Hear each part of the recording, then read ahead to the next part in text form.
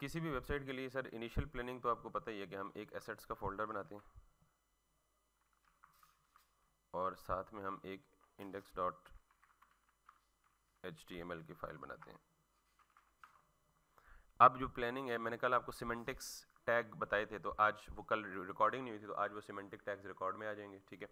सबसे पहला काम मुझे ये करना है कि मुझे यहाँ पे एक फ़ाइल लिंक करनी है और उसको नाम देना है एसेट्स और उसके बाद एसेट के अंदर सीएसएस का फोल्डर बनाऊँगा और सीएसएस के अंदर स्टाइल डॉट सीएसएस की फ़ाइल लिंक कर दूँगा। अभी ये बने नहीं हुए, लिहाजा ये एरर देगा, लिहाजा हम इसे सीएसएस कर लेते हैं और सीएसएस के अंदर एक फ़ाइल बना लेते हैं which is style dot CSS ये फ़ाइल लिंक भी हो गई ऑलरेडी अब प्लानिंग में ना नॉर्मली जब हम वेबसाइट बनाते हैं तो हमारे पूरी वेबसाइट का जो पेरेंट रैपर होता है ना, वो बॉडी का टैग होता है। तो नॉर्मली हम बॉडी के टैग पर रिलाई नहीं करते, हम बॉडी के टैग के अंदर एक अपना ग्रेंड रैपर बना लेते हैं, यानी हमारी पूरी वेबसाइट उस रैपर के अंदर आएगी। तो उसको मैं नाम देता हूँ जी साइट रैपर अच्छा ये जो प्लानिंग मैं कर रहा हूँ, ज़रूरी नहीं है कि आप ऐसे ही करें, लेकिन अगर आप ऐसा करेंगे तो आपका जो कंटेंट ऑर्गेनाइज होगा ना, वो बहुत अच्छे तरीके से होगा। एक और चीज़ आप याद रखिएगा कि आज के बाद मैंने कमेंट्स बताया था ना आपको एच में कमेंट्स क्या होते हैं? वो नॉन एग्जीक्यूटेबल लाइंस होती हैं सिर्फ़ रीडेबिलिटी के लिए होती हैं। तो मैं आज के बाद हर डिव के साथ ये काम किया करूँगा। ये भी आपको बताया था शॉर्टकट कमेंट्स के लिए क्या होता है? नहीं बताया? अच्छा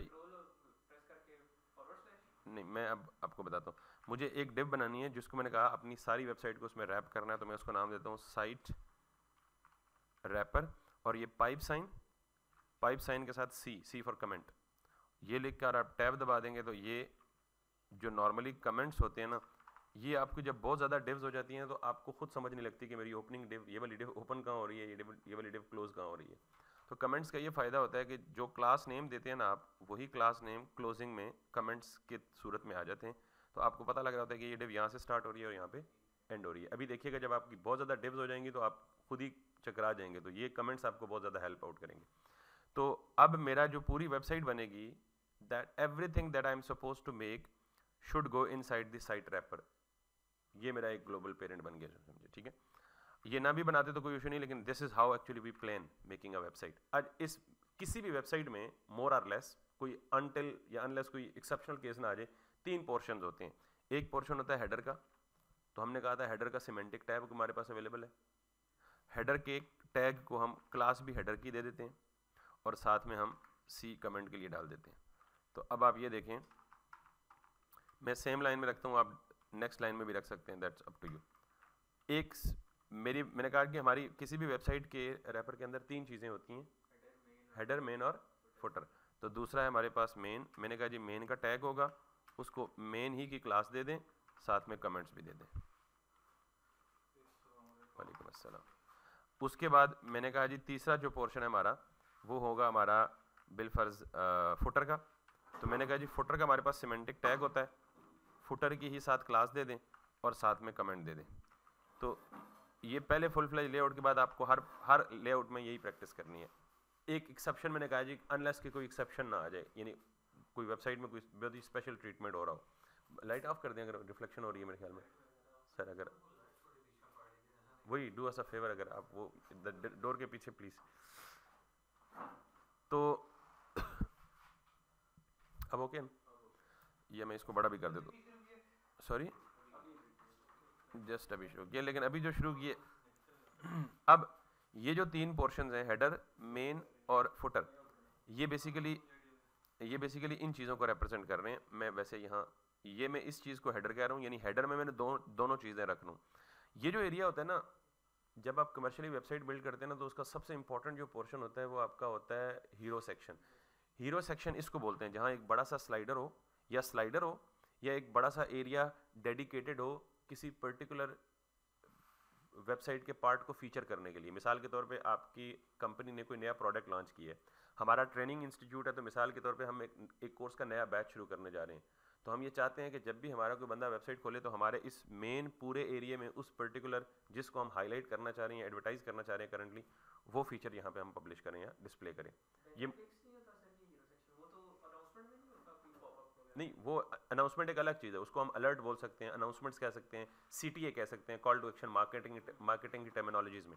ये जो हीरो सेक्शन है दैट इज़ समथिंग डिफरेंट यानी ये भी प्राइमरीली उस काम के लिए देखो जो आपका सबसे फीचर्ड प्रोडक्ट है या सबसे जैसे मिसाल के तौर पे आप इट कीप्स ऑन चेंजिंग और मिसाल के तौर पे आप दराज पे देखें, अब दराज पे इन दिनों 12-12 सेल चल रही है, पिछले दिनों 11-11 सेल चल रही थी तो इन्होंने मोस्टली 11-11 या 12-12 सेल्स में जो फीचर्ड चीज़ें होंगी, या जिन लोगों ने ज़्यादा पैसे दिए होंगे, या जो ज़्यादा फ़ेमस स्टोर्स होंगे, वो यहाँ पे उनके पब्लिश हो रहे होंगे। दैट्स काइंड ऑफ़ अच्छा इसको नाम आप हीरो सेक्शन एक कन्वेंशन है, आप कुछ भी नाम दे सकते हैं। ये आपने जो बोला ना कि हीरो सेक्शन फिक्स नहीं होता इट्स नॉट मैंडेटरी वो फिक्स भी हो सकता है, वो स्लाइडर भी हो सकता है।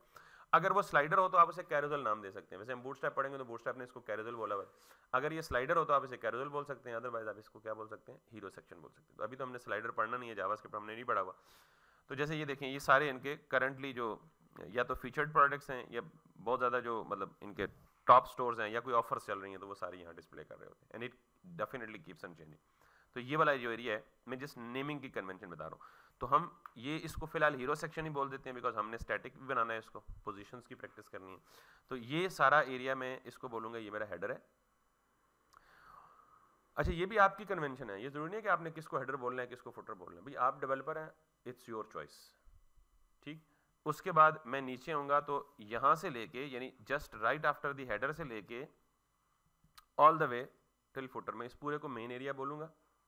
और मेन एरिया के बाद मैं यहाँ से यहाँ तक इसको बोलूँगा, फुटर बोलूँगा। और इस मेन एरिया के अंदर फिर मेरे पास सेक्शंस है। यानी ये पूरा का पूरा एक सेक्शन है। इसी तरह ये पूरा का पूरा एक दूसरा सेक्शन है। इसी तरह ये पूरा का पूरा एक तीसरा सेक्शन है। तो मेन में बहुत सारे सेक्शंस हो सकते हैं। This is how actually I plan तो मैं चलता हूँ जी हेडर के अंदर। हेडर के अंदर मुझे पता है सबसे प्राइमरी चीज़ मेरे पास क्या है? नेव है। तो मुझे ये भी पता है कि नेव नाम का एक टैग होता है, उसको मैं क्लास दे देता हूँ जी। प्राइमरी नेव बार अच्छा ये मैंने प्राइमरी क्यों बोला? हो सकता है मेरे पास नेविगेशन एक से ज़्यादा हों। यानी ये नेव बार साइड पे भी बाज पेज साइड पे भी होती है नेव बार फुटर में भी हो सकती है। तो हो सकता है कि मेरे पास साइट की नेविगेशन मल्टीपल हों तो उस केस में मैं क्या कह सकता हूँ? प्राइमरी कह सकता हूँ सेकेंडरी कह सकता हूँ, अगर फिर कोई तीसरी हो तो उसको, उस तरह का नाम दे सकता हूँ। तो मैंने कहा जी प्राइमरी नेव बार टॉप नेव बार भी हो सकता है मेन नेव बार भी हो सकता है, ठीक? तो प्राइमरी का मतलब ये हमारी मेन ही है तो इसलिए we are we are calling it as a primary primary nav bar इसके बाद हम इसको बोल सकते हैं जी, हम इसके अंदर हमने जैसे कल पढ़ा था बूट स्टैप की नेव को कॉपी करते वक्त, एक, दो, तीन, चार, पाँच छः आइटम्स लेफ़्ट साइड पे हैं, एक, दो, तीन, चार, और चार ही हैं, बल्कि साइन इन इसके साथ है। चार और छः की दो यूएल्स बना लें। हमने कहा जी यू एल यू एल के इमीडिएट चाइल्ड एल आई ये छः हैं लेफ़्ट साइड पे और हर एल आई के अंदर मेरे पास एक एंकर है और हर एंकर के अंदर मैं कुछ पीस ऑफ़ टेक्स्ट लिख देता हूँ। फ़िलहाल लॉरम वन ही लिख देता हूँ और ऑब्वियसली यहाँ पे ये। और इसको मैं चाहे तो क्लास दे दूँ, चाहे तो पेरेंट्स से भी टारगेट कर सकता हूँ। बहरहाल चले, हम इसकी फ़िलहाल ऐसे ही रखते हैं। मैंने दो यूएल्स बना ली। पहली यूएल में छः थे आइटम्स दूसरी यूएल में चार आइटम्स थे। And that's how it looks like when it gets rendered finally अब मुझे ऑब्वियसली नॉर्मली uh, आपको पता है ना हम रूट प्रीसेट्स कर यानी ये पता है आपको? स्टेरिक हमने पढ़ा हुआ नहीं पढ़ा हुआ? हाँ पढ़ा हुआ ये नहीं पढ़ा हुआ हमने। हमने नहीं पढ़ा हुआ। अच्छा नॉर्मली आपको पता है कि कुछ चीज़ें ब्राउज़र में खुद प्रीसेट लेती हैं यानी ब्राउज़र खुद बहुत प्रीसेट्स दे देते हैं डिफ़ॉल्ट स्टाइलिंग कुछ को मार्जिन दे देते हैं, कुछ को पैडिंग दे देते हैं। मार्जिन और पैडिंग ही ज़्यादा प्रीसेट्स होते हैं, या एंकर के केस में अंडरलाइन हो जाता है कलर ब्लू हो जाता है। तो काफ़ी सारे स्टाइल्स जो ब्राउज़र खुद अप्लाई करता है, उन्हें हम ब्राउज़र प्रीसेट्स कहते हैं, ये तो हमने पहले भी पढ़ा हुआ ठीक? तो ये देखें, इस पर बहुत सारे प्रीसेट्स लगे हुए अगर आपको नहीं पता लग रहा है इस पर क्या प्रीसेट्स लगे हुए तो आप राइट क्लिक करके इंस्पेक्ट करें। और ये बॉक्स मॉडल हमने बड़ी डिटेल से देखा था। तो अगर आप किसी भी पर्टिकुलर टैग को सेलेक्ट करें, जैसे मैंने यू को सेलेक्ट किया तो अब देख रहे हैं यूएल को दो साइडों से, यानी टॉप और बॉटम से क्या मिला हुआ है? सोलह सोलह पिक्सल का मार्जिन बॉर्डर कुछ भी नहीं है लेफ़्ट साइड से क्या मिला हुआ है? पैडिंग तो ये कहाँ से मिला हुआ है बेसिकली ये प्री सेट्स हैं। ब्राउज़र ने खुद दिए हैं। हमने तो अभी तक स्टाइलिंग को छेड़ा ही नहीं। तो अगर आप ये चाहते हैं, ये ये प्रीसेट्स बहुत सारी जगहों पे आपको तंग करते हैं। आप एच वन लिखेंगे, उधर भी टॉप बॉटम मार्जिन आ जाएगा। आप पी लिखेंगे, उधर भी मार्जिन आ जाएगा। तो हम ये चाहते हैं कि यार ये जो सारे प्रीसेट्स ब्राउज़र देता है ना और ज़्यादातर प्रीसेट्स क्या देता है? पैडिंग और मार्जिन इसके अलावा भी देता है, जैसे मैंने एंकर की एग्जांपल दी, कुछ और चीज़ें। लेकिन ज़्यादातर पैडिंग और मार्जिन है। तो मैं सीएसएस में आता हूँ और मैं कहता हूँ स्टेरिक स्टेरिक ग्लोबल सेलेक्टर है, इसका मतलब होता है ऑल ऑल का मतलब वेब पेज पे जितने एलिमेंट्स हैं, जितने भी टैग्स हैं, सबको क्या करो सेलेक्ट कर लो। जैसे क्लास होती है ना क्लास सिर्फ़ उस क्लास को सेलेक्ट करती है। आईडी भी सिर्फ़ एक पर्टिकुलर एलिमेंट जिसकी आईडी मैच करती है, उसको सेलेक्ट करती है। स्टेरिक ऑल को सेलेक्ट करते हैं। तो मैं ऑल को सेलेक्ट करके यहाँ पे दो चीज़ें देता हूँ। मैं कहता हूँ जी मार्जिन ज़ीरो कर दो और पैडिंग भी क्या कर दो? ज़ीरो कर दो। अब कोई भी एलिमेंट जो मार्जिन और पैडिंग डिफ़ॉल्ट प्रीसेट लेता है, वो ख़त्म कर देगा। अभी ज़रा इनकी हालत देखिएगा। ये प्रीसेट ले रहे हैं। मैं रिफ्रेश करूँगा। एवरीथिंग इज़ गॉन ठीक होगी बात? अब मैंने आपको पता है कि वो जो जो बुलेट्स थे ना लेफ़्ट साइड पे, वो बुलेट डिस्प्ले क्यों हो रहे थे कि पैडिंग मिली हुई थी? अभी बुलेट्स हैं, लेकिन पैडिंग खत्म होने की वजह से बुलेट किधर चले गए लेफ़्ट साइड से स्क्रीन आउट हो गए। तो इसका मतलब ख़त्म तो उनको करना है। तो अगर मुझे ये चाहिए कि मैं मतलब पॉसिबली पॉसिबिलिटी ये भी है कि मैं यहाँ पे यूएल्स को टारगेट करके ग्लोबली आप सीएसएस में ना कैटेगरीज बना लें। मिसाल के तौर पे देखिएगा। अब मैं चूँकि कोशिश करूँगा ज़्यादातर प्रोफेशनल अप्रोचेस की तरफ़ जाऊँ। ये अंडरस्टैंडेबल हो गया ना, कोई मसला तो नहीं होगा। मैं साथ साथ I'll keep on introducing some new things क्योंकि बिल्कुल सारी चीज़ें वही यूज़ करके लेआउट बनाने का मकसद कोई नहीं। तो मैं यहाँ पे ये भी कर सकता हूँ कि मैं कमेंट दे दूँ। मिसाल के तौर पे मैं कंट्रोल क्वेश्चन मार्क करूँगा, ये ओपनिंग एंड क्लोजिंग कमेंट्स हैं, और मैं यहाँ पे लिखूँगा, मिसाल के तौर पे वैसे इक्वल टू डाल के ना, ये जो मेरे स्टाइल्स हैं, ये हैं जी ग्लोबल स्टाइल्स ग्लोबल स्टाइल का मतलब जो पूरे पेज पे रीयूज़ कर सकते हैं या इन्हें जनरल स्टाइल्स कह लें। नाम कुछ भी दे सकते हैं। ठीक? फिर इसके बाद हम जब अगला पोर्शन स्टार्ट करेंगे किसी पर्टिकुलर सेक्शन का, यहाँ पे हम कहेंगे जी कि इसी को कॉपी पेस्ट कर लें और इसको कहें जी कि इससे आपकी अंडरस्टैंडिंग आसानी हो जाएगी। मैं इसे कहूँगा जी हेडर स्टाइल्स इससे नीचे जितने भी स्टाइल होंगे वो सारे के सारे क्या होंगे? हेडर स्टाइल होंगे। इन दोनों के दरमियान क्या होंगे सारे के सारे? जेनेरिक स्टाइल होंगे, जो सारे सेक्शन शेयर करेंगे। फिर आप थोड़ा सा और नीचे चले जाएँ। इट्स जस्ट अ प्लानिंग नहीं करते तो कोई हर्ज नहीं। इसको हम क्या कहेंगे? मेन स्टाइल्स या मेन एरिया स्टाइल्स फिर आप थोड़ा सा और नीचे आए तो इसको आप क्या कहेंगे? फोटर स्टाइल्स अब नॉर्मली जब हम वेबसाइट्स बनाना स्टार्ट करते हैं तो हम पहले, सबसे पहले क्या करते हैं? वेबसाइट की प्लानिंग करते हैं। और प्लानिंग में क्या क्या चीज़ें शामिल होती हैं? वेबसाइट का स्ट्रक्चर जो हमने बना लिया। दूसरा वेबसाइट की थीम पे काम करते हैं थीम का मतलब यह कि इस पूरी वेबसाइट में कितने कलर्स यूज़ हुए हुए हैं। अब मिसाल के तौर पर इस पूरी वेबसाइट पर देखें, एक तो आपको लग रहा है ये ब्लू कलर प्रोमिनेंट है। दूसरा, आपको लग रहा है कि ये ग्रे कलर प्रोमिनेंट है। तीसरा, आपको लग रहा है कि दो ही कलर हैं इस पूरी वेबसाइट पे डोमिनेंट लेकिन जितने भी कलर्स हो ना, उन सबको आप पहले ही पिक करके रख लें ताकि आप जब को बैकग्राउंड कलर या फॉरग्राउंड कलर देना हो तो कलर कोड्स में ना उलझे। वो पहले ही आपके पास मौजूद हो। तो प्लानिंग में तीसरी चीज़ शामिल है कि जितने भी आइकन्स आपको इस वेबसाइट पे चाहिए ना, वो आइकन्स आप अरेंज कर लें पहले ताकि आपकी वेबसाइट डेवलपमेंट के दौरान आपके फ्लो में कोई हर्डल ना आए, कोई रेजिस्टेंस ना आए। तो मैं एक बड़ी जेनेरिक और बड़ी प्रोफेशनल अप्रोच बताता हूँ कि आपने थीमिंग कैसे करनी है वेबसाइट की।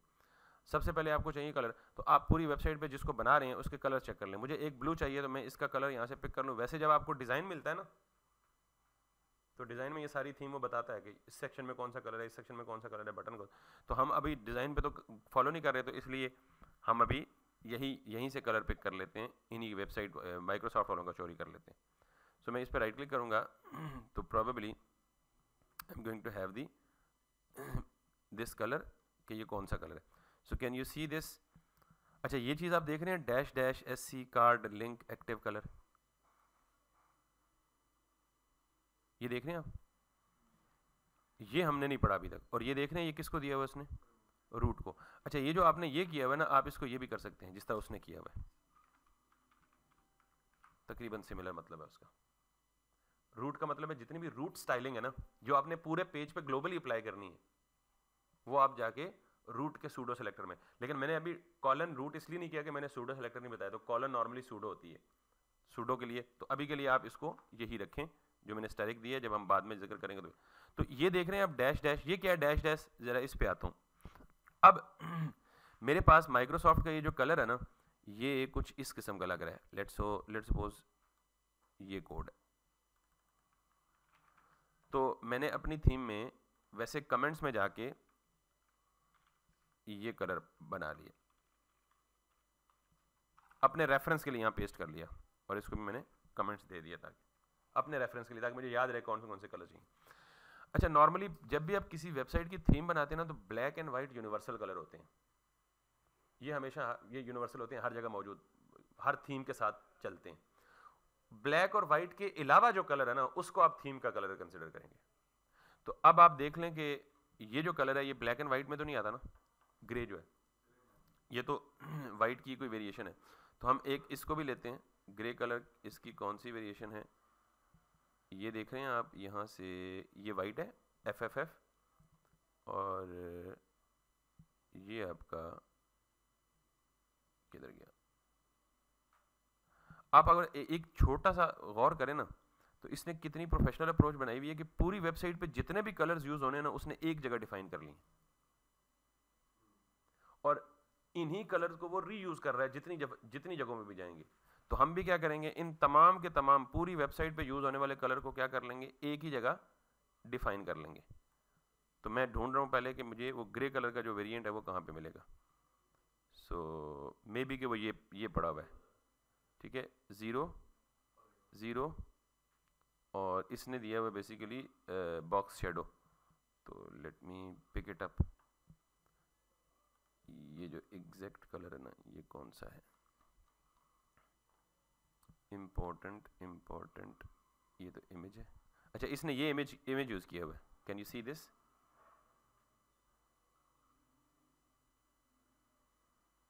किस तरह पकड़ूं इसको? कैन यू सी दिस ये इसने इस कलर का इमेज यूज़ किया हुआ है। तो हम भी इमेज बना के इस तरह का ला सकते हैं। तो इसका मतलब है ये हमारी कलर स्कीम में हम नहीं इसको पकड़ सकते। या कलर पिकर के टूल्स होते हैं, उनसे पकड़ सकते हैं आप। तो हम इस बैक के बटन का कलर देख लेते हैं। सो लेट मी इस पे जाएँ आप और इस पे जाएँ। नो इसके इनर पे जाएँ। तो this is F F F और बैकग्राउंड कलर अच्छा इसने इसको भी बैकग्राउंड पे इमेज कलर दिया हुआ। तो हम ना इसको थोड़ा सा मैच करके काइंड kind ऑफ़ of. ये जितने भी अपना लाइनें लगी हुई हैं स्ट्राइक थ्रू इनका क्या मतलब है वैसे? ओवर हो रहा है। कहीं ना कहीं कोई दूसरी जगह, कोई दूसरी प्लेस इसको ओवर कर रही है। हमें अभी कलर नहीं मिल रहा तो हम अंदाज़ा ना उस तरह का ग्रे बना लेते हैं यहाँ पे। ये है ये है ये है, तकरीबन ये तकरीबन हम बाद में चेंज भी कर सकते हैं। तो मैं इस दूसरे कलर को कॉपी करके यहाँ पेस्ट कर लेता हूँ। तो हमारी वेबसाइट की थीम में जो दो कलर यूज़ हुए हैं, वो हमने पिक कर लिए। तीसरा कलर कोई और यूज़ हुआ है कि ये बैकग्राउंड को कौन सा कलर मिला है? ये अच्छा सॉरी ये फुटर में भी है एक। तो फुटर का भी, ये जो बटन का है, वही फुटर का है गालिबन maybe we can pick it up right exactly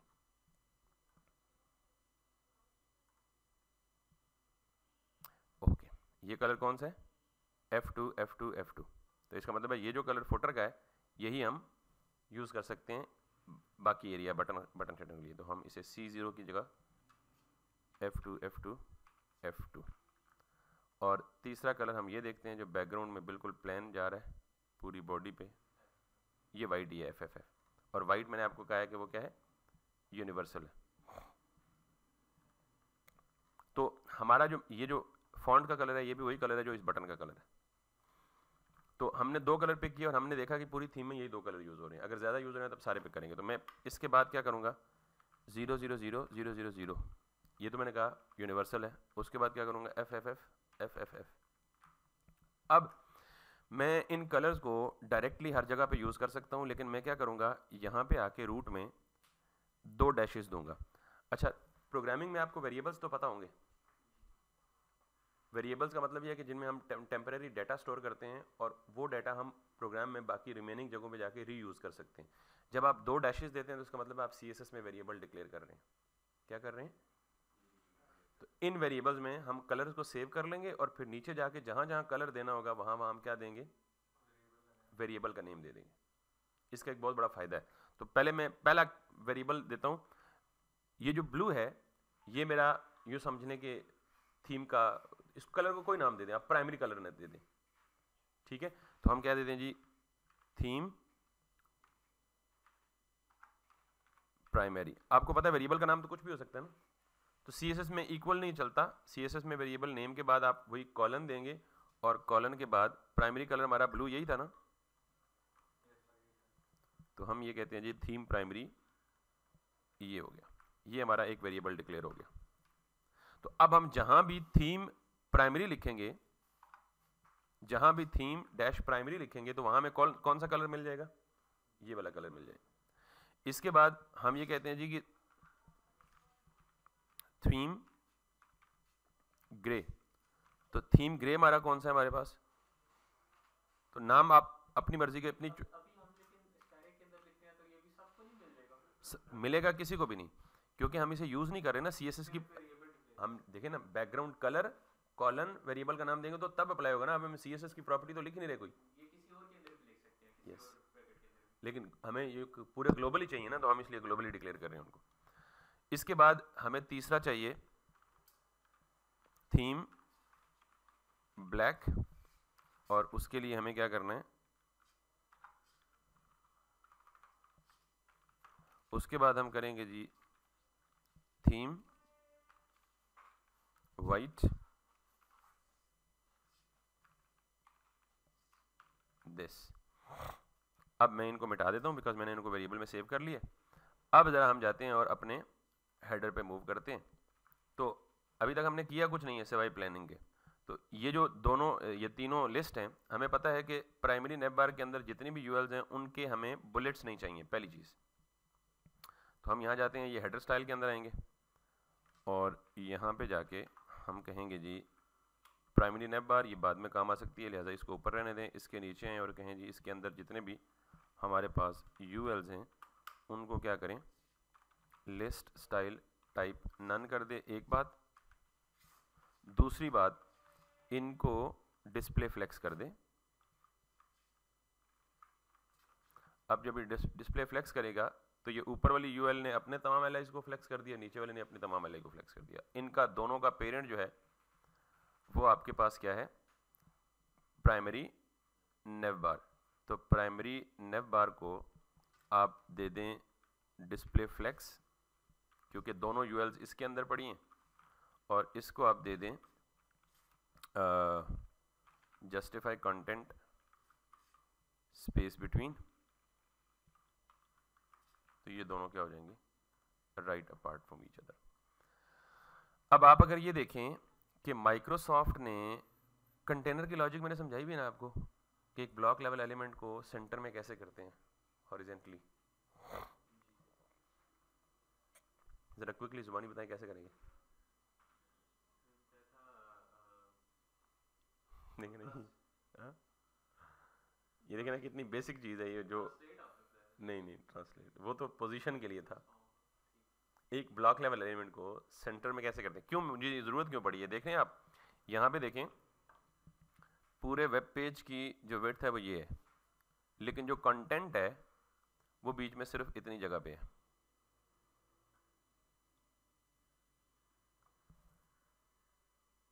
समझ आ गई बात?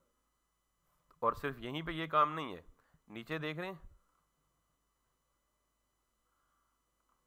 यहाँ से लेके ऑल द वे ये, और ये नीचे तक, बिल्कुल फुटर तक सारी चीज़ें वेल अलाइंड है।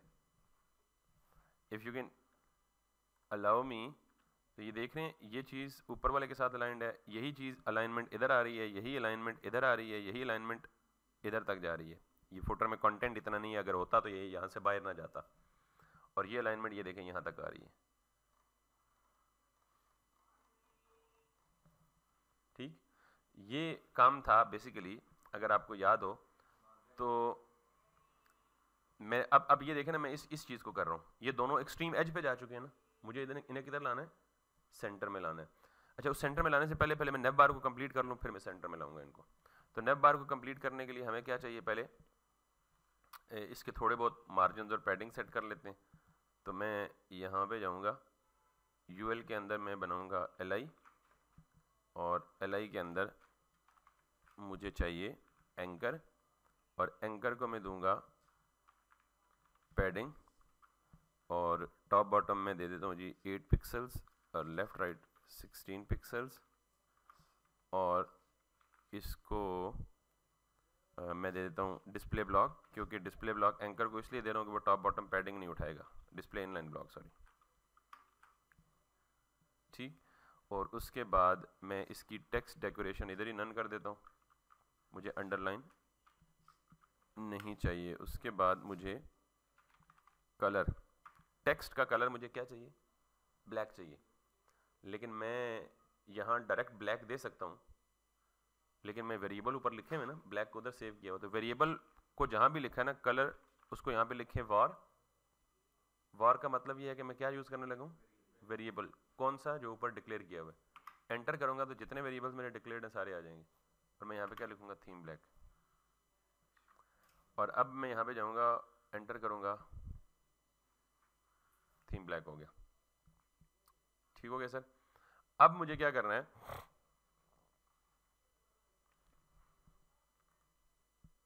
देखें कि अगर ये देखें, आपको ये ऊपर से और नीचे से स्पेसिंग ज़्यादा दिख रही है तो मैं क्या करूँगा? पेरेंट इसके पेरेंट में जाऊँगा। इसका पेरेंट है मेरे पास नेव बार और उसको मैं दूँगा padding from all sides 16 pixels and if I now go I do have this one अब मैं इसके नीचे, इसको ना एक बैकग्राउंड कलर देता हूँ थोड़ी देर के लिए जस्ट आपको दिखाऊँ कि ये क्या चल रहा है और कहाँ चल रहा है। तो मैं देता हूँ जी बैकग्राउंड कलर रेड ठीक? अब आपको क्लियर हो रहा है कि तकरीबन उस तरह की वो लुक आ रही है।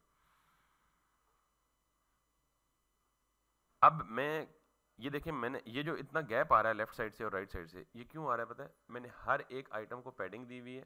तो ये जो पहला आइटम है, इसकी लेफ़्ट पैडिंग इतनी बन रही है और जो आखिरी आइटम है, इसकी राइट पैडिंग इतनी बन रही है। तो मैं ये चाहता हूँ कि चलें, उसको छोड़ दें, फिर वो सूडो सेलेक्टर बीच में आ जाएगा। मैं चाहता ये था कि पहले आइटम की लेफ़्ट पैडिंग और आखिरी आइटम की राइट पैडिंग बाकी किसी को ना छेड़े, सिर्फ़ पहले आइटम की लेफ़्ट आखिरी आइटम की राइट उनकी पैडिंग ख़त्म हो जाए, बाकियों की रहें। लेकिन अभी that's not required for the time भी अब मैं क्या करने लगा हूँ? इस मेन्यू को इस तरह से सेंट्रलाइज करने लगा हूँ, यानी लेफ़्ट साइड पे भी स्पेस हो और राइट साइड पे भी स्पेस हो। तो मैं क्या करूँगा? मैं कहता हूँ जी कि मेरे ये जो इंटायर प्राइमरी नेब बार है ना, ये जो इंटायर प्राइमरी नेब बार है, इसको मैं एक और रैपर में रैप कर दूँ, जिसको मैं नाम दे दूँ container container is just a div और ये डेव क्या करेगी? मेरे पूरे मेन्यू को रैप कर देगी। मुझे रैपिंग की ज़रूरत क्यों पड़ी? ताकि मैं इसकी विथ को रिस्ट्रिक्ट कर लूँ सेंट्रलाइज कर लूँ। अब अगर मैं सिर्फ़ इस कंटेनर को बैकग्राउंड कलर दूँ कंटेनर को मैं लिख रहा हूँ जनरल स्टाइल्स में, क्योंकि इसी कंटेनर को मैं बार बार यूज़ करूँगा।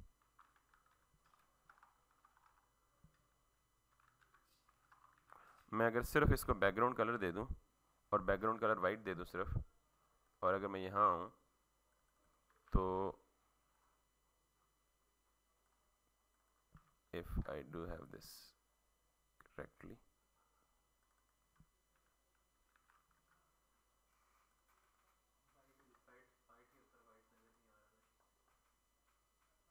अच्छा ठीक है। उसकी वजह यह कि कंटेनर बाहर है प्राइमरी नेब बार अंदर है। तो प्राइमरी नेब बार को क्या मिला हुआ है? रेड तो पीछे जो उसके है वाइट तो वाइट पीछे है रेड ऊपर है तो नज़र कहाँ आएगा? समझ आ गई बात ये नहीं आई? नहीं आई। दोबारा बताने की ज़रूरत नहीं है कि मैं इसको यहीं से ख़त्म कर देता हूँ और इसको रेड कर देता हूँ।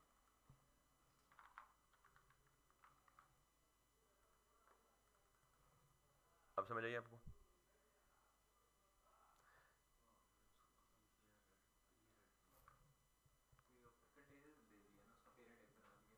एक है कंटेनर एक उसका चाइल्ड है प्राइमरी नेबर कंटेनर की विड्थ कितनी होगी? फुल विड्थ डेव है ना? प्राइमरी नेब बार की विड्थ कितनी होगी?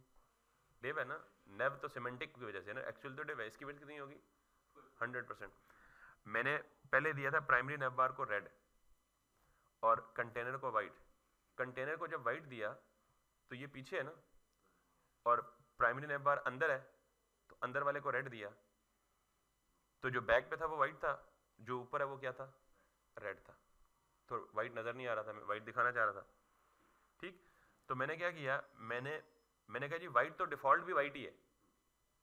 तो इसलिए अंदर वाले को रेड देने के बजाय रेड वाला किस, किधर कर दो? बाहर कर दो। समझ आई? अच्छा अब मुझे करना क्या है? ये इसको क्यों रेड दिया? उसकी वजह यह है कि मैं इसी को रिस्ट्रिक्ट करना चाह रहा हूँ। मैं इसको देता हूँ जी width is going to be 1200 pixels अब देखिएगा जरा, जादू यहाँ होगा। कंटेनर के अंदर मैंने नेव रखा। By default nav available width full occupy कर रहा था, पूरी स्क्रीन पे था। मैंने उसकी विथ को रिस्ट्रिक्ट कर दिया 1200 पे। क्यों रिस्ट्रिक्ट किया? क्योंकि मुझे लेफ़्ट राइट दोनों जगहों पे स्पेसेस चाहिए थी। अब मैंने कंटेनर को क्या करना है? सेंटर में करना है, ताकि लेफ़्ट और राइट पे इक्वल स्पेस क्या हो जाए? शेयर हो जाए। क्या करूँगा? Margin top bottom zero left right auto तो मैं यहाँ पे क्या करूँगा? यही पूछ रहा था कि margin top bottom zero left right auto यही पूछ रहा था कि हम सेंटर करेंगे किसी डिव को तो कैसे करेंगे? तो देखें अब आपको कॉन्सेप्ट पता था। लेकिन वो आपकी ज़ुबान पे तब आया जब सिनेरियो क्रिएट हुआ। ये चीज़ चाह रहा हूँ, जब आपने प्रैक्टिस की होती ना तो ये सिनेरियो क्रिएट करने से पहले ही आपको पता होता है जी ये कंटेनर बनाएँगे और उसको यूँ सेंटर में कर देंगे दैट्स इट तो अब आप देखें कि मेरे जो दोनों लेफ़्ट और राइट पे मेन्यू हैं, वो बिल्कुल इसी तरह आ रहे हैं। अब इनके कंटेनर साइज़ बड़ा है तो हम क्या करेंगे, यहाँ 1200 के बजाय 1400 कर लेंगे। अच्छा ये को रटा नहीं है कि 1200 कब करेंगे 1400 करेंगे, इसका एक स्टैंडर्ड है, लेकिन अभी मैं ज़ाहिर है उसको just I am completing it with respect to this screen क्योंकि जब रिस्पॉन्सिव वेबसाइट होती है तो छोटी वेबसाइट पे कंटेनर छोटा हो जाता है, छोटी स्क्रीन पे। बड़ी स्क्रीन पे कंटेनर बड़ा हो जाता है तो हम उसको, उसके अकॉर्डिंग चेंज करेंगे बट फॉर नाउ उसको फिक्स दे दें बारह सौ या चौदह सौ या तेरह सौ, जो आपकी स्क्रीन पे फिट लगता है। ये क्लियर हो गया सर ये हमारा बन गया कंटेनर अब आपके सेंस में ये सवाल आ रहा होगा जी ये कंटेनर को मैंने जनरल स्टाइल्स के ब्लॉक के अंदर क्यों रखा है? क्योंकि यही कंटेनर थ्रू आउट पूरी वेबसाइट के टॉप टू बॉटम जिस चीज़ को सेंटर में लाना होगा सिंपली उसको कंटेनर के अंदर रैप कर दे। वो खुद बहुत सेंटर आ जाएगा। तो you have written a container class once and you are going to reuse it again and again ये क्लियर हो गया सर अब मैं आगे चलता हूँ थोड़ा सा और थोड़ा सा हम पेस भी पकड़ते हैं, हम स्लो में बहुत। कंटेनर में कलर की ज़रूरत नहीं है। कलर जस्ट आपको दिखाने के लिए दिया था और आप देख चुके हैं। ठीक? और एक एक दफ़ा सॉरी मैं कलर को रिवर्ट करता हूँ। और इस विथ को मैं दे देता हूँ जी मैक्स विथ ये एक नई प्रॉपर्टी भी आपको पता लग जाएगा।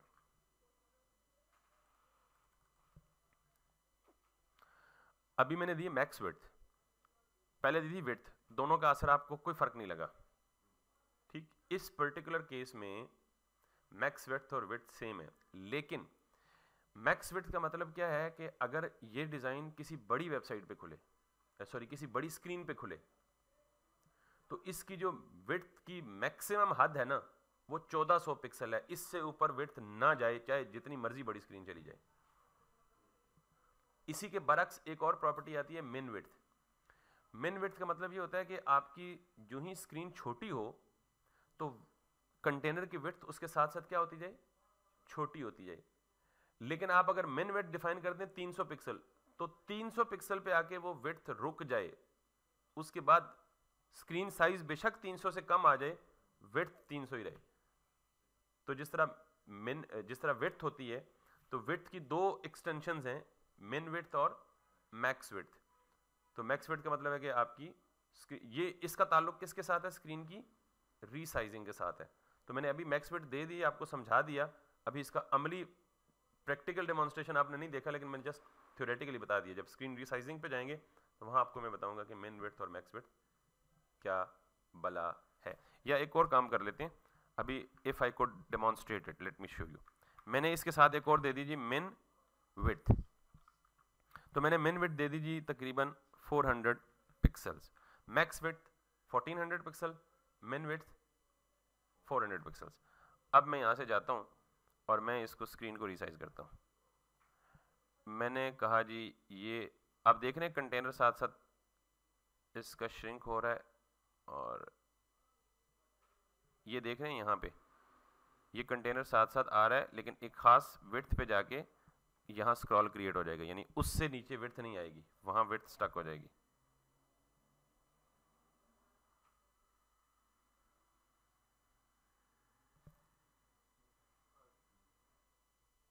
देख रहे हैं? अगर मैं इसको दे दूँ लेट सपोज़ सौ तो रहा है I don't know how it is calculating the width अच्छा बेसिकली वो इस कंटेंट की वजह से भी है। अगर ये सिर्फ़ बॉक्स होता तो उसी तरह। ये देख रहे हैं जहाँ कंटेंट फिट आ रहा है ना, क्योंकि कंटेंट अपनी भी तो वो वो लेता है ना। तो अभी के लिए सिर्फ़ चाहे विथ दें या मैक्स विथ दें, इसका डेमोन्स्ट्रेशन आपको उस तरह से क्लियर नहीं हो पाएगा जब तक हम पूरी प्रॉपर रिस्पॉन्सिवनेस में नहीं आएँगे। लेकिन मैंने सिर्फ़ मैक्स विट दिया समझाने के लिए कि इस नाम की एक प्रॉपर्टी भी एग्जिस्ट करती है। तो नॉर्मली कंटेनर को मैक्स विथ दी जाती है। ठीक? अब अगर मैं इसको, या मैं एक और काम भी आपको डेमोन्स्ट्रेट करने के लिए दिखा सकता हूँ। इसकी मैं मैक्स विथ को लिमिट कर दूँ, क्योंकि कंटेंट मैं इस कहता हूँ जी मैक्स विथ है इसकी 800 पिक्सल्स ठीक? अब ये सिर्फ़ बॉक्स को देखिएगा कंटेंट को फ़िलहाल नहीं देखिएगा। मैं कहता हूँ जी कि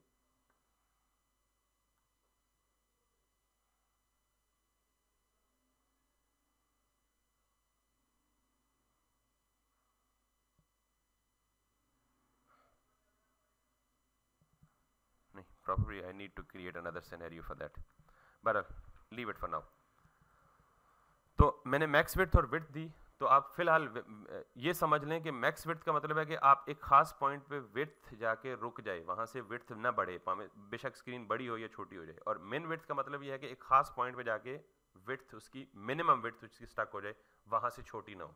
ये दो एक्सट्रीम बाउंड्रीज सेट कर लें आप, ये एज्यूम कर लें।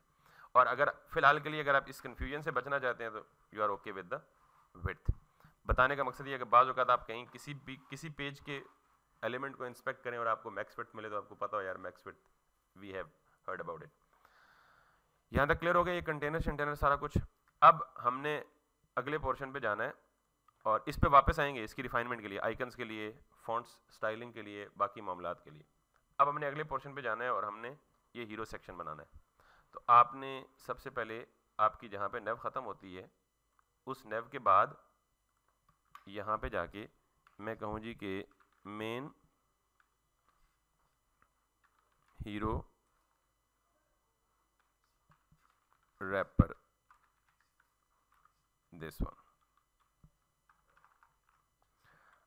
मैंने आपको कहा था कि जब भी आपको स्क्रीन वाइड इमेज चाहिए हो, उसकी डायमेंशन विथ वाइज 1920 होनी चाहिए फुल एचडी की। हाइट उसकी, ये कल ही बताया था। हाइट उसकी आप कस्टम रख सकते हैं अपनी मुताबिक। तो मैं जाता हूँ यहाँ पे इंडेक्स पे। और यहाँ पे if I see something like technology कर लेते हैं।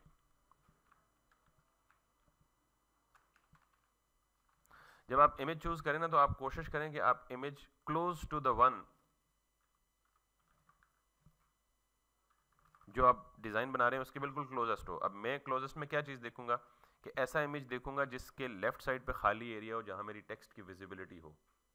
जैसे माइक्रोसॉफ्ट उन्होंने रखा हुआ लेफ़्ट साइड से इमेज खाली रखे हुए सारे, ताकि उनकी टेक्स्ट की विजिबिलिटी क्लियर हो। राइट साइड पे उस इमेज का कोई जो जो भी उनका इफ़ेक्ट देना चाहते हैं वो दे रहे तो मैं इस तरह की कोई चीज़ देखूँगा। I can not use this one क्योंकि इस पर टेक्स्ट की विजिबिलिटी नहीं होगी लेफ़्ट साइड पे। I should I can use this one because left side पे अगर आप देखें तो थोड़ा सा वो डिम है इस पर इस पे लेफ़्ट साइड पे टेक्स्ट की विजिबिलिटी आ सकती है वाइट कलर में। लेकिन मुझे ऐसा रखना है कि टेक्स्ट सारा का सारा क्या हो? ब्लैक हो। क्योंकि वाइट करूँगा तो फिर तो विजिबल होगा, लेकिन तो मैं इस पे इस पे ब्लैक की विजिबिलिटी ठीक हो सकती है। ठीक, एक हम इसको चूज़ कर लेते हैं। दूसरा मे बी ये ज़रा डार्क है, इस पर मे बी ब्लैक की विजिबिलिटी क्लियर ना हो। इमेजेस की चॉइस बहुत इंपॉर्टेंट है। तो ये वाला हो सकता है, इस पे ब्लैक की विजिबिलिटी क्लियर हो सकती है। ये? लेकिन इसमें टेक्स्ट लिखा हुआ है ना हमने टेक्स्ट को पोजीशन से प्लेस करना है। हमने सादा इमेज बगैर टेक्स्ट के यूज़ करना है। इस पे भी ब्लैक की विजिबिलिटी इस पे क्लियर हो सकती है लेकिन ये हमारे से टेक्नोलॉजी से रेलिवेंट नहीं है ना। ये तो इलेक्ट्रिक इलेक्ट्रिसिटी से। तो दो या तीन इमेज बेसिकली तो हमें फ़िलहाल एक ही चाहिए क्योंकि हमने स्लाइडर तो नहीं बनाना। अगर स्लाइडर बनाना हो तो फिर हमें तीन चार इमेजेस चाहिए। So we can go with this one yes JavaScript में। ये हम यूज़ करें, लेकिन इसमें वो पीएनजी वाली लुक आ रही है बॉक्सेस वाली। तो we can go with the next one कौन सा दूसरा चूज़ किया था हमने, पता नहीं।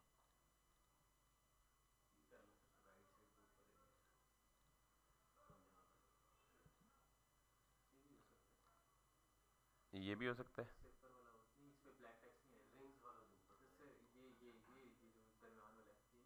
ये? हाँ ये भी हो सकता है लेकिन ये इमेज को इतना अच्छा नहीं है ना। एक आध नज़र और देख लेते हैं कहीं। क्योंकि जब भी आप वेब पेज डिज़ाइन कर रहे हो तो आपने विजिबिलिटी ये ये। चलो। जब भी आपने बैनर डिस्प्ले करना है ना या कैजुअल तो आपको पता है वो सबसे मेन एरिया है। और ये डिम है ना सर ब्लरी है। देख रहे हाँ? ठीक है ये ठीक है ये ठीक है। वो उधर ब्लरी था। तो सबसे इंपॉर्टेंट फैक्टर ये है कि आपने अपनी उस वेबसाइट की लुक के लिए इमेज बिल्कुल क्रिस्टल क्लियर चूज़ करना है। क्योंकि अल्टीमेटली तो ये मार्केटिंग है ना, और मार्केटिंग में अट्रैक्शन कैसे पैदा होती है जब आप कोई तो आई एम जीज और मैं इसे कहता हूँ जी हीरो वन सो दैट अगर बाकी भी हीरोज़ हैं तो मैं। अब देख लें, मुझे प्लानिंग कैसे करनी है? मुझे पता है कि इस वेबसाइट के ऊपर इमेज के साथ एक पोजीशनड एलिमेंट जो कि इमेज के ऊपर लेयर के तौर पे आना है, उसको भी आना है। तो मैं यहाँ पे इस मेन हीरो रैपर के अंदर इमेज तो रखूँगा ही रखूँगा, लेकिन इमेज के साथ क्या रखूँगा? ओवर या हीरो ओवरले अब आपको कमेंट्स की इंपॉर्टेंस का अंदाज़ा हो गया होगा मेरे ख्याल में, कि जब इतनी ज़्यादा डिव्स नेस्टेड हो गई हैं तो कमेंट्स का क्या फ़ायदा है कि आपको ये अगर आप इसको छेड़े ना तो आपको पता चलाना हो कि इसका एंड कहाँ पे हो रहा है तो आप सिर्फ़ इसके एंड पे ये कॉपी करके फाइंड कर लें जी कि, या इसको सेलेक्ट कर लें तो एंड वाला खुद ही हाईलाइट हो जाएगा।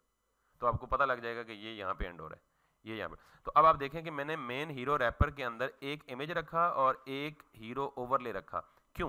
क्योंकि मैं मेन हीरो रैपर को पोजिशन रिलेटिव दे दूँगा और इस हीरो ओवरले को पोजीशन एब्सोल्यूट दे दूँगा तो ये पूरा का पूरा ओवरले उठ के इमेज के ऊपर आ जाएगा। लेट्स सी हाउ मैं सबसे पहले इमेज देता हूँ यहाँ पे। सो so, मैंने यहाँ पे लिखा एसेट्स एसेट्स के अंदर इमेजेस इमेजेस के अंदर ये। अब आप मुझे बताइएगा प्रॉब्लम क्या हुआ।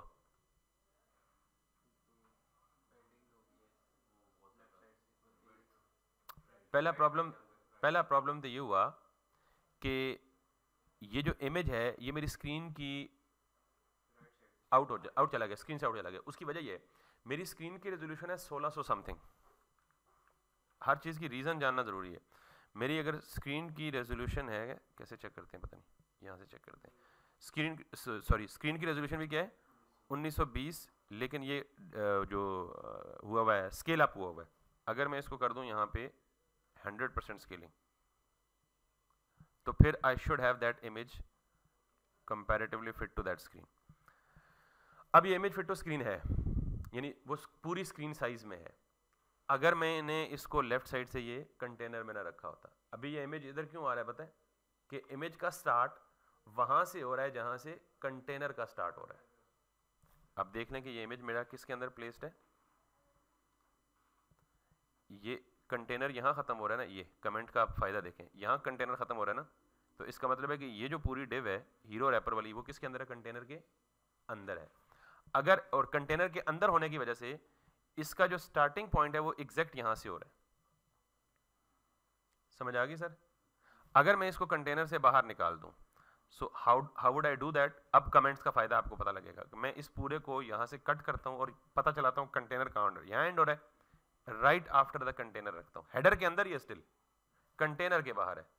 And if I now go और यहाँ पे चलूँ तो ये जो मैं आपको कह रहा था कि 1920 इमेज की रेजोल्यूशन है और 1920 मेरी स्क्रीन की रेजोल्यूशन है। तो 1920 1920 मैच कर गई तो इमेज जो है वो एग्जैक्टली क्या आया? फिट आ गया। अब ज़ाहिर है ये तो बहुत छोटा हो गया मुझे स्केल अप करना है क्योंकि इस, इसे तो आपको विजिबिलिटी नहीं नज़र आ रही।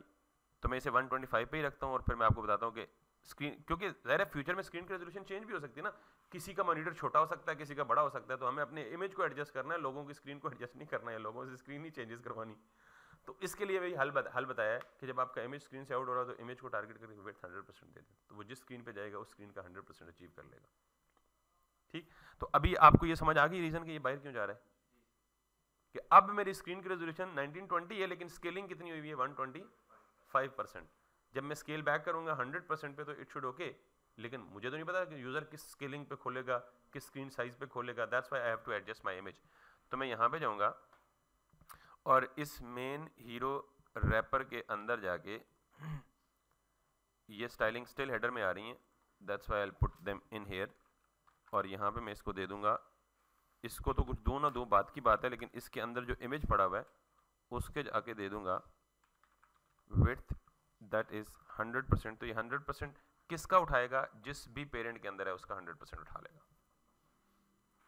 अब आप माइक्रोसॉफ्ट में देखें कि हमारा इमेज फुल स्क्रीन पे है, लेकिन जो नेप बार है, वो कंटेनर के अंदर है। और this is what we have already achieved हमारा नेप बार कंटेनर के अंदर है और इमेज जो है, वो क्या है? फुल विड्थ है। और नो स्क्रॉलिंग हॉरिजॉन्टल अब हमने क्या करना है? हमने इसके नीचे ऑलरेडी एक डिव बनाई हुई है और उस डिव में यानी इस ओवरले के अंदर हमें क्या क्या चीज़ें चाहिए? तीन चीज़ें चाहिए। नंबर एक हेडिंग चाहिए, नंबर दो पैराग्राफ चाहिए, नंबर तीन, दो एंकर चाहिए। दो एंकर चाहिए बटन चाहिए? आप तो आपको फैसला करना आसान हो एंकर चाहिए दोनों, ठीक है? तो हमें एक चाहिए एच टू हेडिंग और उसमें मैं कुछ भी लिख दूँ लॉरम लॉरम लॉरम दस। उसके बाद मुझे एक चाहिए पैराग्राफ अब इनके प्रीसेट्स नहीं आएँगे क्योंकि मैंने ग्लोबली प्रीसेट्स क्या कर दिए ख़त्म किए हुए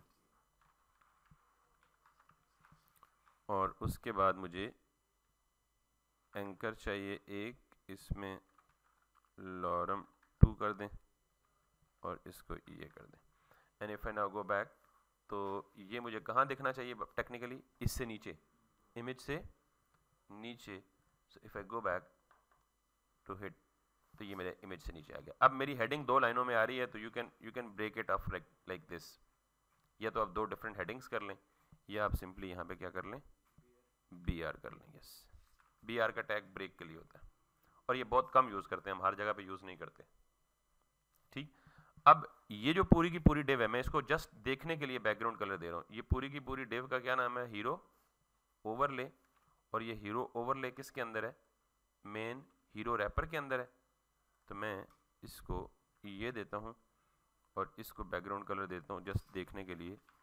That is going to be red क्योंकि जब मैं एक्चुअल कलर दूँगा तो हमेशा वेरिएबल के फॉर्म में दूँगा। ये टेस्टिंग के लिए जो कलर है, ये रेड शेड मैनुअली दे देता हूँ हार्ड अब ये फुल विथ क्यों आई है? बेसिकली कि ये है डिव तो डिव क्या होती है? ब्लॉक लेवल एलिमेंट अब मैंने क्या करना है कि इसको, इसका जो पेरेंट है ओवरले का पेरेंट कौन है? मेन हीरो रैपर उसको पोजीशन रिलेटिव दूँगा। तो मेन हीरो रैपर ये खड़ा है। इसको जाके आप टारगेट करें और इसको दे दें। पोजीशन रिलेटिव और फिर आप जो ओवरले है, इसको क्या दे देंगे? Position absolute and if you go all the way up तो इसने क्या किया? पहला अटैक तो इसने विथ पे किया। जो कि एक्सपेक्टेड है एब्सोल्यूट की विथ डिस्टर्ब होती है, हमें पता है। अगर हम उसे वापस लाना चाहते हैं तो एब्सोल्यूट की विथ को दोबारा क्या करना चाहते हैं? क्या कर सकते हैं हम? विथ हंड्रेड परसेंट देंगे तो पूरी स्क्रीन पे फैल जाएगी। पूरी स्क्रीन पे तो हमें वैसे ही नहीं चाहिए, हमें कितनी चाहिए? इतनी चाहिए ना, तकरीबन हम अंदाजन 500 पिक्सल या 600 पिक्सल दे देते हैं। तो विथ हम 600 पिक्सल्स देते हैं। अगर पूरी स्क्रीन चाहिए तो आप विथ हंड्रेड परसेंट दे दें, पूरी स्क्रीन पे चली जाएगी। That's no issue at all अब जब मैंने इसे एब्सोल्यूट दी विथ तो उसने ऑक्यूपाई कर ली, जितनी हमें चाहिए थी। अब मैंने इसको देना है जी टॉप से 50 परसेंट तो टॉप से 50 परसेंट का मतलब ये पेरेंट से कैलकुलेट करेगा जहाँ 50 परसेंट होगा, वहाँ पे आगे रुक जाएगा। अब 50 परसेंट यहाँ बन रहा है तो यहाँ से वो स्टार्ट हो रहा है। तो ये तो आपको पहले से पता है हमने क्या करना है। हमें करना है जी ट्रांसफॉर्म और ट्रांसलेट वाई पे रिवर्स डायरेक्शन में 50 परसेंट कर दें ठीक हो गया जी। अब आपको पता है कि ये जो देखें, वैसे नॉर्मली हेडिंग टॉप और बॉटम से प्रीसेट लेता है पैराग्राफ भी टॉप और बॉटम से लेता है। इसने कुछ भी नहीं लिया। रीज़न हमने सारा कुछ क्या कर दिया था? अच्छा पहले अब इसको लेफ़्ट साइड से हम कुछ स्पेसिंग देते हैं। तो मैं लेफ़्ट साइड से दे देता हूँ इसको जी। टॉप 50 परसेंट है। तो मैं इसे कह देता हूँ जी कि लेफ़्ट जो है वो हमारा टेन परसेंट कर लो। टू सम एक्सटेंट यहाँ पे आ गया। दैट सीम्स ओके अब हमने क्या करना है? ये देखें कि हेडिंग के बाद भी थोड़ी सी स्पेसिंग है और पैराग्राफ के बाद भी थोड़ी सी स्पेसिंग है। तो ये एक और तरीका मैं आपको बता दूँ कि मैं ये चाहता हूँ कि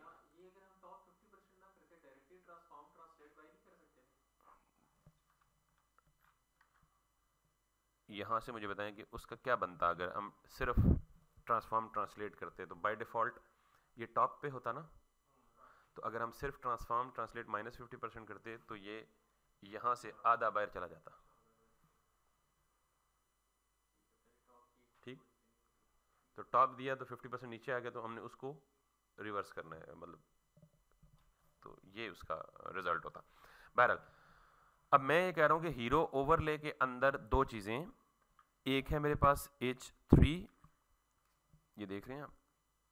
हीरो ओवरले के अंदर एच टू है सॉरी एच टू और दूसरा क्या है? पी है। एंकर भी है लेकिन हमने मार्जिन सिर्फ़ दो को देने हैं।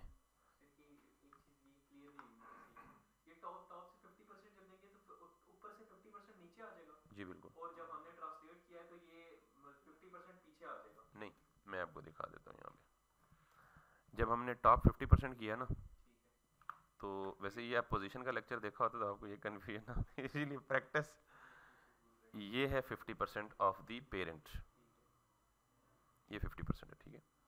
जब मैंने इसको कहा ना, इसको पर्टिकुलर रेड डिव को, कि जी टॉप से 50 परसेंट दो तो इसने 50 परसेंट कैलकुलेट किया, लेकिन इसने स्टार्ट यहाँ से किया। अब मैंने इसी को पकड़ के कहा कि इस शेप का 50 परसेंट कैलकुलेट करो, जितना बनता है। उतना एरिया रिवर्स कर दो तो इतना बनता है 50 परसेंट इतना। इसने इतना एरिया रिवर्स डायरेक्शन में दे दिया। ठीक हो गया? चलिए।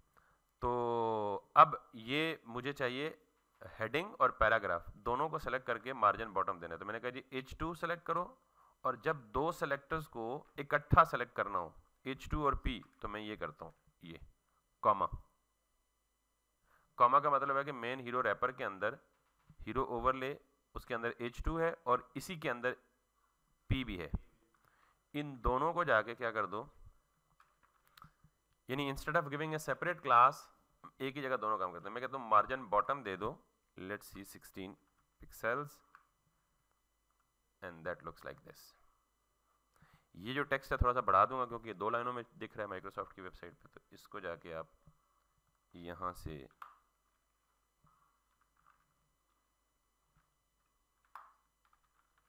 लॉरम इप्सम ये कर दें। अच्छा ये ज़्यादा बड़ा हो गया।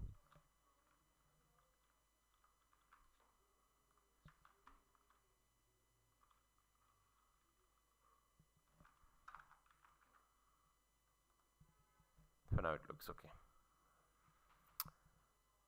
और इवन दो अगर आप इसकी वेट छोटी कर दें तो मज़ीद ठीक हो जाएगा।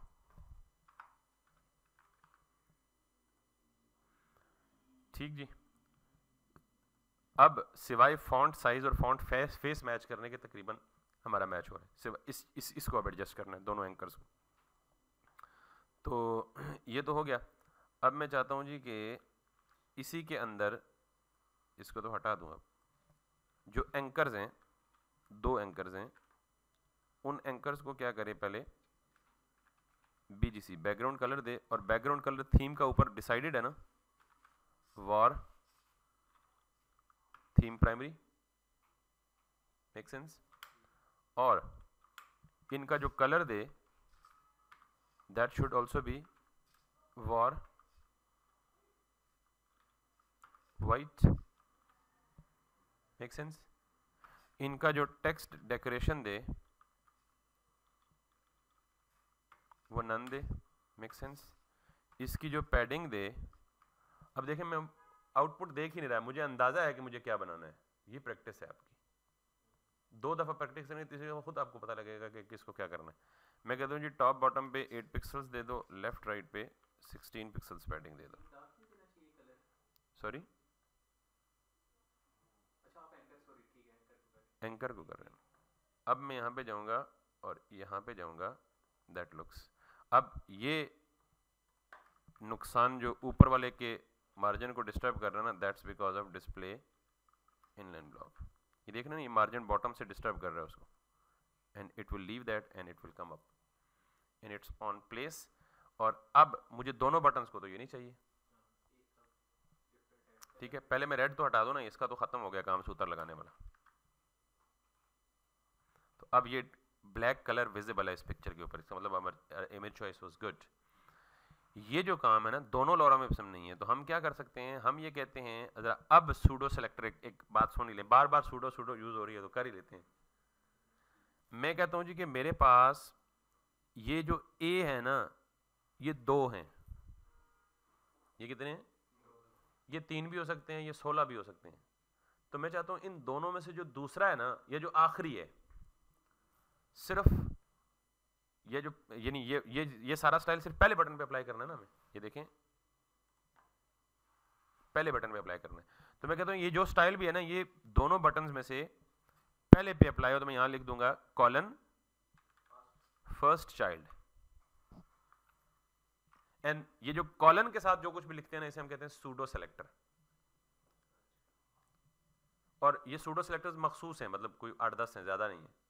तो फ़र्स्ट चाइल्ड का मतलब क्या है कि if you want to access one child out of many children तो instead of giving it a separate class यानी हमें उससे टारगेट करने के और तरीके भी थे कि उसको जाके पर्सनली सेपरेट क्लास दे देते। लेकिन हम बहुत ज़्यादा रिडेंडेंसी बहुत ज़्यादा क्लासेस देने से भी अवॉइड करते हैं ना, हमने नीट एंड नीटनेस का भी ख्याल करना होता है। तो आपको अगर मल्टीपल चाइल्ड्स में से किसी एक का स्टाइल चेंज करना हो तो आप उसे जाके क्या कहते हैं? फ़र्स्ट चाइल्ड इसी तरह लास्ट चाइल्ड है। इसी तरह nth चाइल्ड भी है, इसी तरह इवन चाइल्ड्स भी हैं और ऑड चाइल्ड्स भी सूडो सेलेक्टर्स की बात कर रहा हूँ। तो मैंने सिर्फ़ फ़र्स्ट चाइल्ड दिया, वापस आया इधर तो उसने दोनों में से ख़त्म कर दिया, जो कि नहीं होना चाहिए था। ठीक? Let's see why it has done this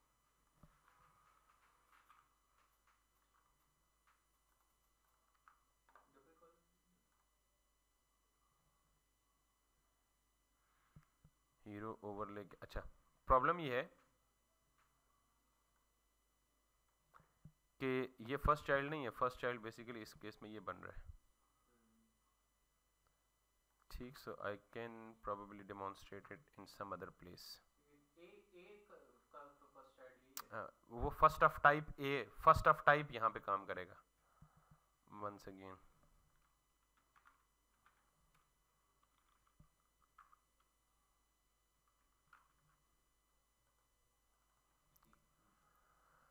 first child का मतलब कुछ और था इस केस में, वो एच वन एच टू बन रहा था।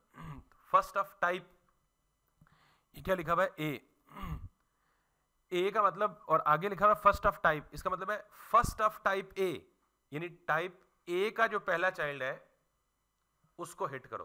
तो टाइप ए का पहला चाइल्ड कौन सा है? यानी टाइप ए दो ही तो है, दो में से पहला कौन सा है? ये वाला, उसने उसको दिया। लेकिन मैं अगेन ये ये फ़र्स्ट ऑफ़ टाइप को नहीं पढ़ाना चाह रहा था। सिनेरियो क्रिएट हो गया। मैं पहले सिंपल सूडो पढ़ाना चाह रहा था। और अगर आप मुझे इजाज़त दें, मैं इसको रिमूव कर दूँ। और अगर समझ आ गया तो ठीक है, मैं इसे रहने देता हूँ। क्योंकि मैं बेसिकली पहले सिंपल सूडो क्योंकि ऊपर नब बार में भी मैं इसीलिए सूडो सेलेक्टर का नाम लेके पीछे हट गया मैंने कहा, नहीं, अभी नहीं टाइम इधर भी मैं कुछ और सोच रहा था, लेकिन हो कुछ और गया। तो फिर मुझे मजबूरन अगला सिलेक्टर बताना पड़ा, क्योंकि इज़्ज़त बेस्ती का सवाल आ गया ना। वरना मैं इसको भी मिटा देता। अगर आपको समझ आ गया दैट्स ओके तो अब, आप देख लें कि इसके राइट साइड पे इनके बीच में थोड़ा सा मार्जिन है ज़्यादा। ये देख रहे हैं? तो मैंने कहा जी कि जो फ़र्स्ट ऑफ़ चाइल्ड है ना, इसी के अंदर अगर मैं मार्जिन राइट दे दूँ margin right let's see six pixels दे देते हैं। So we can see if we can get that thing not हाँ हो रहा है। And we can see it like 16 pixels instead of 6 ठीक है जी?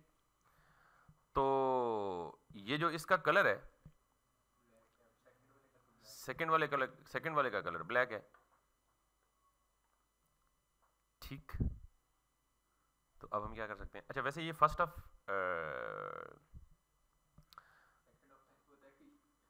अब हम ये भी कर सकते हैं।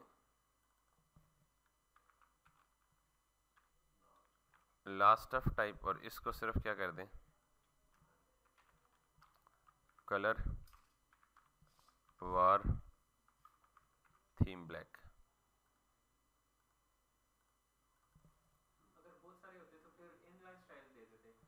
नहीं। इनलाइन नहीं देना फिर एंथ चाइल्ड है। एंथ चाइल्ड में आप नंबर बता सकते हैं। मैं आपको दिखा सकता हूँ। अगर मैं ये फ़र्स्ट चाइल्ड लास्ट चाइल्ड को ना बात करूँ तो मैं यहाँ पे एक और बात कर सकता हूँ। एंथ चाइल्ड और ये कौन सा है? नंबर तीन पे ना? तो कैन यू सी दिस और ये कौन सा है? नंबर चार पे ना? तो अब जितने मर्ज़ी हैं आप उन्हें एंथ चाइल्ड में जाके नंबर चार पे चाइल्ड सेम स्टाइल तो इसका मतलब है, आपके सवाल से ही फिर आपने खुद ही इसको बिगाड़ा। एक और एक और सेलेक्टर भी आप नोट कर लें एंथ चाइल्ड वाला भी। ठीक हो गया सर अच्छा। वो मैं यही कह रहा था ना, मैं पिछला सिलेक्टर पढ़ाना नहीं चाह रहा था। फ़र्स्ट ऑफ़ टाइप और लास्ट ऑफ़ टाइप पढ़ाना नहीं चाह रहा था, वो गलती से सनेरियो क्रिएट हो गया, मुझे बताना बड़ा इज़्ज़त बेजती वाला। तो एंथ ऑफ़ चाइल्ड इनका सवाल था जी कि अगर छः चाइल्ड हों, बारह चाइल्ड हों, दस चाइल्ड हों तो फिर? अब एक और सवाल है, अगर आपको पैटर्न बनाना हो, मिसाल के तौर पे आप कहें जी कि तमाम के तमाम इवन चाइल्ड को डिफरेंट ऑड चाइल्ड को डिफरेंट कलर दे दें तो फिर उसके लिए ये जो एंथ चाइल्ड है, इसके अंदर इवन और ऑड पास कर दें। लिख दें इवन और ऑड फिर आपको कहना जी, कोई और कॉम्प्लेक्स फार्मूला हो फेबोनाक्सी सीरीज़ को फॉलो करे। एक, तीन, पाँच, नौ इस तरह से ना फेबोनाक्सी सीरीज़ तो फिर आप वो कॉम्प्लेक्स फार्मूला बना लें, पूरा अलगरिदम लिख लें इसके अंदर। एंथ चाइल्ड के अंदर पूरा एक्सप्रेशन लिख दें आप। वो उसका जो मर्ज़ी पैटर्न बना दें, वो बन जाएगा। तो ये बहुत एडवांसमेंट भी चली जाती हैं बातें। लिहाजा हम थोड़ा सा बेसिक पे ही रहते हैं। तो अब मुझे ये जो एंथ चाइल्ड में फोर्थ पे है, इसका जो टेक्स्ट डेकोरेशन है, वो भी क्या करना है? नन करना है। तो जो कि नॉर्मली ये है। अब हम हॉवर वगैरह पे इफ़ेक्ट पे कर सकते हैं, लेकिन हम बाकी चीज़ें इनको इनको कंप्लीट करते हैं। तो आप देख रहे हैं कि जो चीज़ें बिल्कुल सिंपल दिख रही होती हैं एक्चुअली वो सिंपल नहीं होती। इसलिए मैंने आपको ये लेआउट दिया था कि आप इसे बनाएँगे तो थोड़ी बहुत कॉम्प्लेक्सिटीज आएँगी। अब देखें fully hundred percent in controlled है सारा कुछ। कोई पोजिशन ख़राब नहीं है, कोई कुछ क्यों? जस्ट एक सीक्वेंस में हम चले तो बहरल अब हम तकरीबन करीब पहुँच चुके हैं। एग्जैक्ट तो इसलिए नहीं हुआ कि एग्जैक्ट आपको पता है, फिर हमें अभी फॉन्ट कलर पे और साइजिंग पे मजीद भी थोड़ा सा काम करना है तो हम फॉन्ट्स जब लगाना सीखेंगे तो अब हम बना लेते हैं। वैसे मेरा टारगेट था एक घंटे में कंप्लीट करना वेबसाइट लेकिन ये वो बीच में और टॉपिक खुला है तो एक घंटे में। अब हम बनाएँगे क्या? एक कार्ड बनाएँगे। ये कंट्रोल्स हम बना के इस पोजीशन के साथ यहाँ प्लेस कर सकते हैं but this is of no use क्योंकि स्लाइड तो चलनी नहीं है हमारी। इसका यूज़ किया है? तो फिर हम एक कार्ड बनाते हैं। अब हम निकल आए जी अपने हेडर से बाहर। और किसमें चले गए? मेन में। उसको कोलेप्स कर दें। जो सेक्शन बन जाए उसको कोलैप्स करके अगले की तरफ़ मूव कर जाए अब मेरा मेन के अंदर ये पूरा एक सेक्शन बनेगा। ठीक? मैं सपोज़ करता हूँ कि ये माइक्रोसॉफ्ट सर्विसेज़ है माइक्रोसॉफ्ट की, ठीक है? तो मैं यहाँ पे मेन के अंदर आऊँगा। हाँ कंटेनर में तो बाद में भी रैप कर सकते हैं। पहली चीज़ ये है कि सेक्शन और मैं कहूँगा जी M S services wrapper this ठीक हो गया जी? और इस रैपर के अंदर मुझे बनाने हैं कार्ड्स कितने बनाने हैं? तीन चार। एक दो तीन चार। हंड्रेड परसेंट को चार पे डिवाइड करें। पच्चीस? तो मैं यहाँ पे क्या कहूँगा जी? मेरे पास अच्छा पहले तो मैं कहूँगा जी ये आ, पूरा सेक्शन उसके बाद मैं कहूँगा लेट्स सी इन चार कार्ड्स को भी तो हमने फ्लेक्स देना है ना? तो इसके लिए इनर इनर बना लें। तो मैं कहूँगा जी कि एम एस सर्विसेज़ इनर ये इनर सिर्फ़ इसलिए बनाया है कि मुझे इसको फ्लेक्स देना है।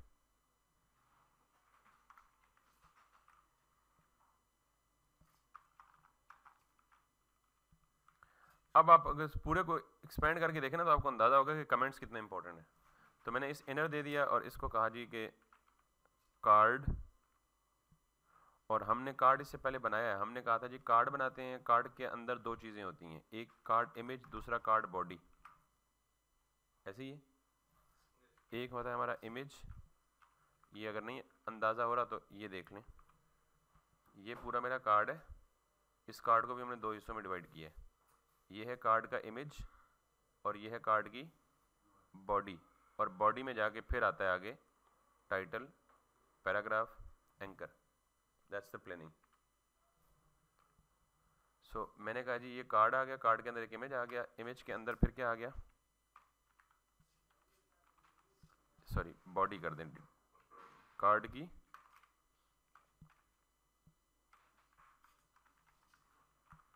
बॉडी कर दें। सिर्फ़ बॉडी गुड इनफ अगर कार्ड बॉडी करना हुआ तो पेरेंट्स से रेफर कर लेंगे। Dot card dot body body में क्या है? H three lorem six paragraph lorem this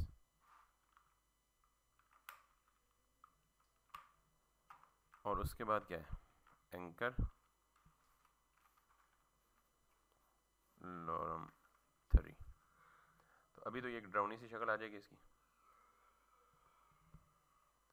अब ये कार्ड है तो मुझे इसको रिस्ट्रिक्ट करना है। इसकी विड्थ को, पहले तो विड्थ को रिस्ट्रिक्ट करना है। और उसको देखने के लिए मुझे इसको बैकग्राउंड कलर देना है, जो बाद में मिटा सकता हूँ। और मुझे इसकी जो विड्थ देनी है दैट इज़ 25 परसेंट क्योंकि 100 को चार पे डिवाइड करें 25 ठीक हो गया सर इसका इमेज भी चूज़ कर लेते हैं। अभी हम इमेज को नॉर्मली चूज़ करते हैं। एच डी इमेज के लिए बारह अस्सी सात बीस। सोलह रेशो नौ के लिए रेजोल्यूशन है। तो मैं कहता हूँ जी कि मुझे चाहिए बारह अस्सी सात बीस। और अब मुझे ये एक चूज़ कर लेते हैं, दूसरा ये चूज़ कर लेते हैं, तीसरा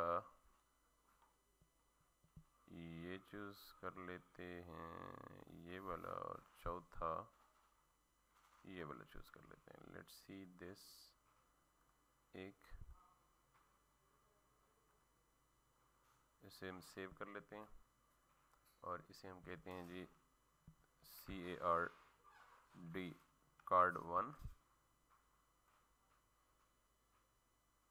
और इसको हम कह देते हैं जी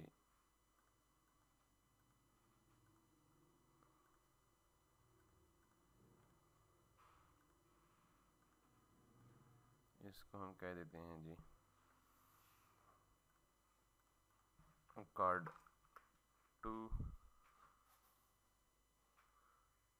इसकी तो हो गया इसको कह देते हैं जी, ये तो एक्चुअल डायमेंशन ही नहीं आई। इसको हम कह देते हैं जी कार्ड थ्री और लास्ट बट नॉट लीस्ट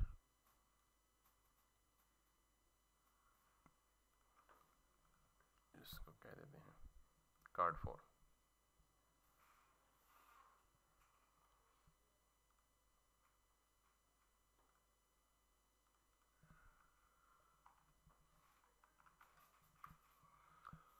तो now what we can do is कि हम यहाँ पे जाते हैं कार्ड के अंदर और इसके जो इमेज है, इसमें assets images card one S C में ही काम आता है ज़्यादा। अब ये इमेज जा रहा है out of the parent because of being more in size so मैं कार्ड में जाके इमेज कर के और इसकी विड्थ को मैं लेता हूँ। Hundred percent which becomes hundred percent of its parent which is twenty five percent ठीक हो गया सर अब मुझे इसके तीन बनाने हैं, फिर उनको हम एडजस्ट कर सकते हैं। चार, तीन मज़ीद। तो मैं इस कार्ड को लूँगा। इसको दो, तीन, चार, पूरे हो गए? और इसको दे दूँगा मैं कार्ड टू इसको दे दूँगा कार्ड थ्री इसको दे दूँगा card four if I go back and they all come up right on top of each other. And if I want actually them to let तो मैं इसके पेरेंट को टारगेट करूँगा और इसको दे दूँगा डिस्प्ले फ्लेक्स दैट्स इट अब मुझे इनके दरमियान में थोड़ा बहुत मार्जिन सार्जिन चाहिए। तो मैं क्या करूँगा, इसके जो चाइल्ड हैं कार्ड इसके डायरेक्ट चिल्ड्रन है ना, इस पे जाके दूँगा margin it's going to be eight not eight sixteen pixels from all sides for each card ये हो गया।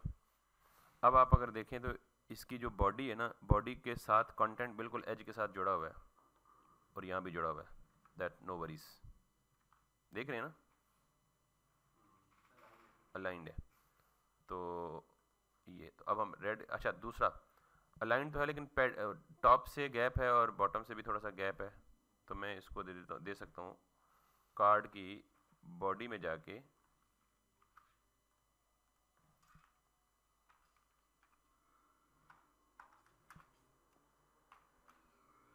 बॉडी में जाके क्या दे सकता हूँ जी?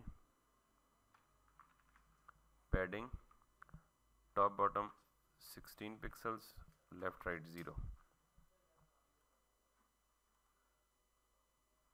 can you see this और फिर हेडिंग और पैराग्राफ इन दोनों का बॉटम मार्जिन दे दूँ क्योंकि मैंने ऊपर मार्जिन ख़त्म किए हुए सारे। तो मैं यहाँ पे करता हूँ जी बॉडी के अंदर मेरे पास एच थ्री है एक कॉमा के बाद दूसरा मेरे पास क्या है? पी है। दोनों को मैं क्या दे दूँगा? Margin bottom that should be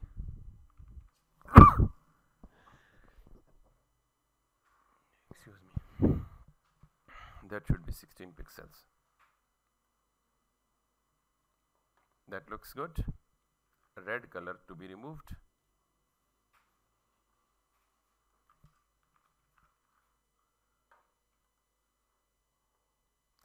अब ये सारी चीज़ें किसमें आनी है? ये सारे कार्ड्स किसमें आने हैं? कंटेनर में। Can you see this left और right so what I need to do is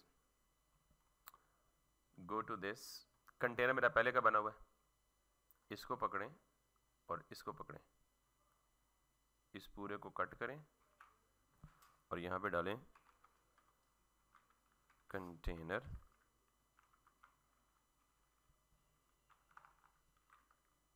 इसको पेस्ट कर दे वापस। बूम इंटरेस्टिंग बन गया। सिवाय आखिरी दो एंकर्स के। तो अब इन एंकर्स पे जाएँ, वो दो नहीं एंकर एक ही है, खैर, हर एक में एक ही है। तो what we can do is कि हमने जो स्टाइलिंग यहाँ फोर्थ चाइल्ड के लिए की है,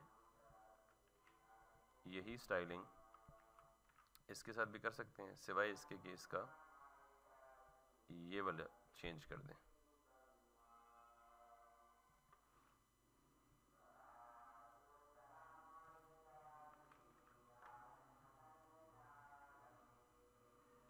इसका जो कलर है, वो ब्लैक नहीं है। तो इसका कलर हम क्या कर लें? दिस और ये दोनों हो गए तो दोनों अच्छा ये एच थ्री भी साथ है तो इसको हमने नहीं करना। इसको थोड़ा सा बोल्ड करना है। Font, weight bold that seems good.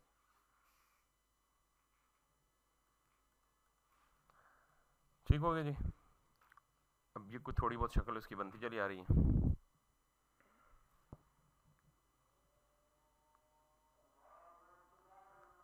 अजान की ब्रेक कर लें।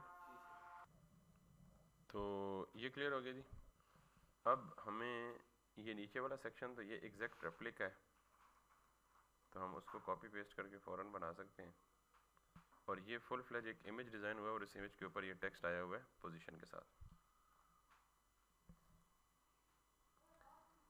ये जो है सॉरी ये जो है, ये इसका रेप्लिका है और ये जो है, ये इसका रेप्लिका है। तो समझे, बन ही गया। कैसे? कि मैं यहाँ जाऊँ। वैसे तो आपको डिफरेंट सेक्शन बनाना चाहिए टेक्निकली लेकिन जस्ट टू सेव टाइम ये जो मेन हीरो रैपर है, इसको यहाँ से उठाऊँ। और जहाँ पे ये सेक्शन ख़त्म हो रहा है ना प्रीवियस वहाँ इस सेक्शन को डाल दूँ।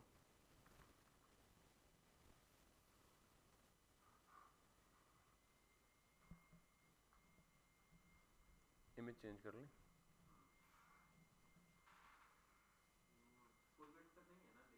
फुल वेट पे नहीं है। अगला सवाल। तो उसमें कौन सा मसला है सर?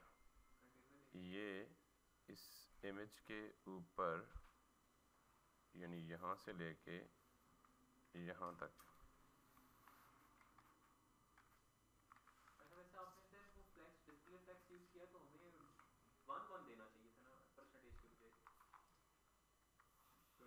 फ़िलहाल दे दें।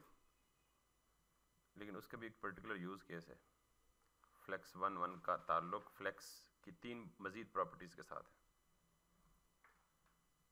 फ़िलहाल दे सकते हैं आप। वो सेम है। अगर विथ सेम है ना सारे चिल्ड्रन के फ्लेक्स वन दे दें। That would be okay still sir, ये लें। कंटेनर में आ गया। इससे नीचे वाला सेक्शन बनाए। ये होता है फ़ायदा प्लानिंग का। वो कहते हैं ना अंग्रेज़ी का एक मकूल है failing to plan is planning to fail अच्छा ये डिव आखिरी यहाँ ख़त्म हो रही है, इस डिव को भी सेक्शन में कन्वर्ट कर सकते हैं आप। ये नीचे वाले कार्ड बन गए। इनकी तस्वीरें चेंज कर दो। एक मज़े की बात बताऊँ? ये अलाइनमेंट आउट होती नज़र आ रही है? आउट होगी ना अलाइनमेंट अब सूडो सेलेक्टर आया है। कि मैं कहता हूँ, ये क्यों अलाइनमेंट आउट हो रही है? कि इस पर्टिकुलर कार्ड को, हर कार्ड को चारों साइडों से मार्जिन मिला हुआ है। तो अब मैं चाह रहा हूँ कि सिर्फ़ पहले कार्ड का लेफ़्ट मार्जिन और आखिरी कार्ड का राइट मार्जिन ख़त्म कर दो, बीच वाले सारे रहें। सूडो सेलेक्टर यही चिल, यही चिल्ड्रन वाला हिसाब आ गया। अब तो हम पढ़ चुके हैं ना ना वी कैन गिव इट है। और सेम काम यहाँ भी करेंगे हम। ये देख रहे हैं, इसकी अलाइनमेंट भी डिस्टर्ब हो गई तो अब आपकी जितनी स्ट्रॉन्ग प्लानिंग होगी ना उतना आप कॉन्फिडेंट हो कि यस मुझे पता है क्यों हो रहा है ये काम। ये देख लें, अगर मैं यहाँ से सीधी लाइन ड्रॉ करूँ तो ये गैप देख रहे हैं तो मैं कह रहा हूँ, जितने भी कार्ड्स हैं मेरे पास, ये है मेरे कार्ड्स जिनको मैंने margin 16 pixel from all sides दिए तो इसी को मैं कॉपी करके नीचे ले आऊँ और मैं कहूँ जी कार्ड के जो फ़र्स्ट चाइल्ड है, उसका सिर्फ़ क्या ओवरराइड कर दो? मार्जिन लेफ़्ट ज़ीरो कर दो। Can you see this how beautiful it has done this without disturbing anything else ये देख रहे हैं अलाइनमेंट और ये देख रहे हैं अलाइनमेंट अब राइट साइड वाली अलाइनमेंट रह गई है तो आपको समझ आ गई है। कार्ड का तो कहने को तो हमने आज कुछ नहीं पढ़ा, लेकिन सॉरी करने को हमने बहुत कुछ कर लिया।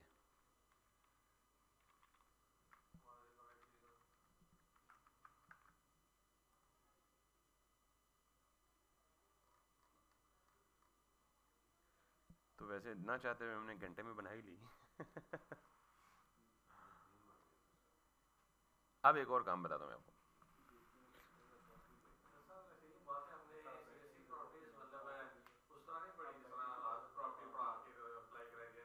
असल में नुकसान यही है। हम पता है क्या? नॉलेज स्टफिंग कर देते हैं ठोस देते हैं। हम सिर्फ़ दो प्रॉपर्टीज़ पे चल रहे हैं अगर आप इसको देखें। एक पोजीशन एक फ्लेक्स और मैंने आपको क्या कहा था? जब तक ये, ये दो प्रॉपर्टीज़ पढ़ लें आपका पूरा लेआउट सीधा हो जाएगा। कुछ नहीं रहेगा पीछे उसकी। हमारे यहाँ प्रॉब्लम क्या है? जिस इंस्टीट्यूट में जाएँगे ना वो सीएसएस की प्रॉपर्टीज़ पे प्रॉपर्टीज़ ठोंसते जाएँगे। प्रॉपर्टीज़ पे प्रॉपर्टीज़ ठोंसते वो बेचारा वो जो सामने बैठा हुआ उसका ख्याल रखो यार इतनी प्रॉपर्टी जुबानी नहीं याद होती।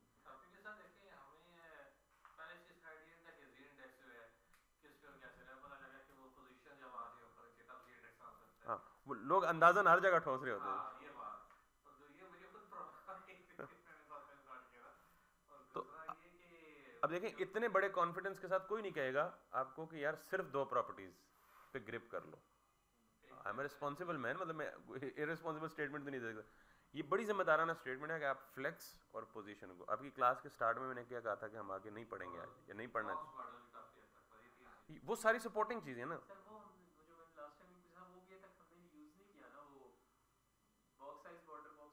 हाँ बॉक्स साइजिंग बॉर्डर बॉक्स वो जहाँ प्रॉब्लम आएगा तब यूज़ करेंगे ना। अभी तक अनफॉर्चुनेटली कोई प्रॉब्लम ही नहीं आया। जैसे सूडो सेलेक्टर में यूज़ नहीं कर रहा था इतफाकन यूज़ करना पड़ गया तो फिर आपको सारी कहानी समझा दी। तो बॉक्स साइजिंग बॉर्डर बॉक्स अभी मीनिंगलेस है। मैं उसकी थ्योरिटिकली डिटेल बता सकता हूँ कि बाय डिफ़ॉल्ट किसी भी एलिमेंट की विथ कैलकुलेट होती है। एलिमेंट की actual width plus its border plus its padding तो अगर आप एलिमेंट की एक्चुअल विथ से पैडिंग और बॉर्डर को सब्ट्रैक्ट करना चाहें तो उसको बॉक्स साइजिंग बॉर्डर बॉक्स दे दें। दैट्स द इंटायर डिटेल लेकिन ये कहानी समझ वर्बली तो आ गई आपको, लेकिन ये एक्चुअल समझ तब आएगी जब किसी सिनेरियो में इंप्लीमेंट होगी। बहरहाल, एक आखिरी चीज़ हम कर लेते हैं, और वो ये कि अगर आप यहाँ पे देखें तो ये जो स्पेसिंग है ना, ये कंसिस्टेंट है। इसके टॉप पे देखें और इसके बॉटम पे देखें। हर सेक्शन की स्पेसिंग कंसिस्टेंट है। इसके टॉप पे देखें और इसके बॉटम पे देखें। इस सेक्शन के टॉप पे देखें और इस सेक्शन के बॉटम पे देखें। फिर इस सेक्शन के बॉटम पे और इसके टॉप पे देखें। ये स्पेसिंग हर सेक्शन पे कंसिस्टेंट है। हम जितने बारीक बीन होंगे ना, जितना क्रिटिकली किसी डिज़ाइन को देखेंगे, उतना हम अच्छा डिज़ाइनर बनेंगे। जनरल में जाके एक ही दफ़ा स्पेसिंग डिफाइन कर लेंगे और हर सेक्शन को वो स्पेसिंग दे देंगे। लेट्स सी मैं यहाँ पे जनरल में गया। अभी तक देखें जनरल में हमने वो स्टाइल लिखे हैं जो रीयूज़ हो रहे हैं हर जगह पे। तो मैं यहाँ पे जाके एक एक क्लास बना ली। कोई भी नाम दे दें आप अपनी चॉइस का। मैंने कहा जी सेक स्पेस यानी सेक्शन स्पेस मैं इसे कह देता हूँ जी? पैडिंग टॉप बॉटम मैं दे देता हूँ जिसको फिफ्टी या सिक्सटी पिक्सल दे देता हूँ। लेफ़्ट राइट ज़ीरो दे देता हूँ। अब जिस जिस जगह पे, जिस जिस सेक्शन को ये स्पेसिंग देनी है सेक्शंस पे चले जाएँ। ये हमारा सेक्शन वन है, इसको सेकंड क्लास दे दें। ये सेक्शन स्पेस लेट्स सी इसको देखिएगा, इस वाले को।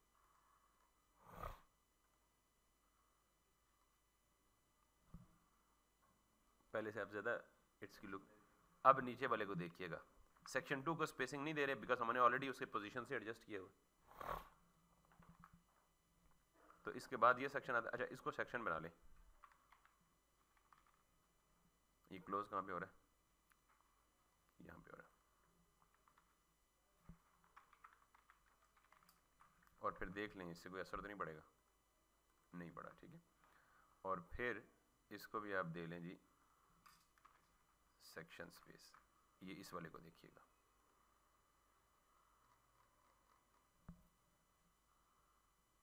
जेनेरिक स्टाइल्स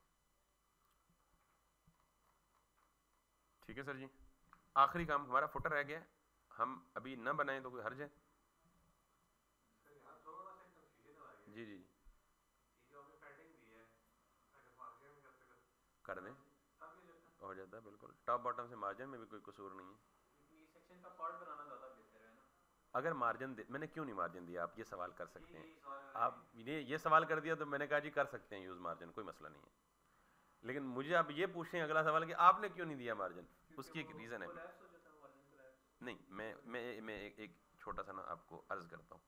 मिसाल के तौर पे कहीं हमारी रिक्वायरमेंट है जी कि हर सेक्शन का कलर भी डिफरेंट है। हर सेक्शन का कलर भी डिफरेंट है। फिर ज़रा देखिएगा फ़र्क क्या होगा। मिसाल के तौर पे मैंने इसे कहा जी कि BG col one BG colour one ठीक तो मैंने यहाँ पे आके बीजी कलर वन लिख दिया जी फॉर एग्जांपल बीजी टेस्ट के लिए जस्ट टेस्ट के लिए ग्रीन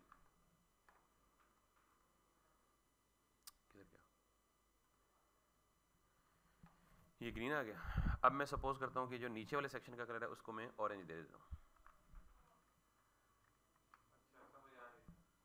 तो जब मार्जिन देते ना तो ये दो कलर्स के बीच में इतना गैप आ जाता। तो जो पैडिंग देंगे तो कलर्स बिल्कुल साथ में अटैच रहेंगे, अंदर वाला कंटेंट स्पेसिंग ले लेगा। That's the reason that's the reason I did it otherwise अगर आपकी कलर की रिक्वायरमेंट नहीं है, फिर आप मार्जिन दे सकते हैं। और मैंने आपको कहा टॉप बॉटम मार्जिन पैडिंग दे सकते हैं क्योंकि टॉप बॉटम स्क्रॉलिंग अलाउड है। मार्जिन बॉटम लेफ़्ट राइट देते वक्त एहतियात करनी है कोई चीज़ एक्स्ट्रा विदाउट कैलकुलेशन ना आ जाए।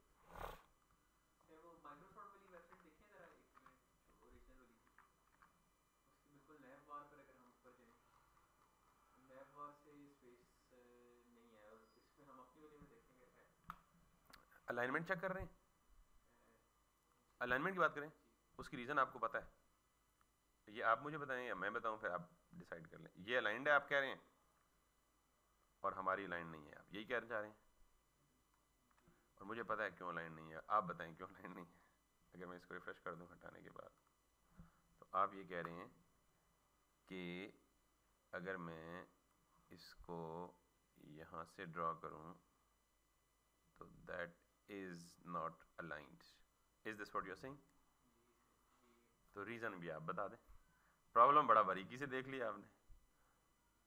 सर मतलब एक मेरे ख्याल से तो ये है कि हमने नीचे जो है हम्म, ऊपर कंटेनर यूज़ नहीं किए ऊपर भी किया कंटेनर यूज़ ऊपर हमने दी हुई है पैडिंग पैडिंग दी हुई है। हर एक एंकर को पैडिंग दी हुई है। और अब क्या करेंगे उसका हल?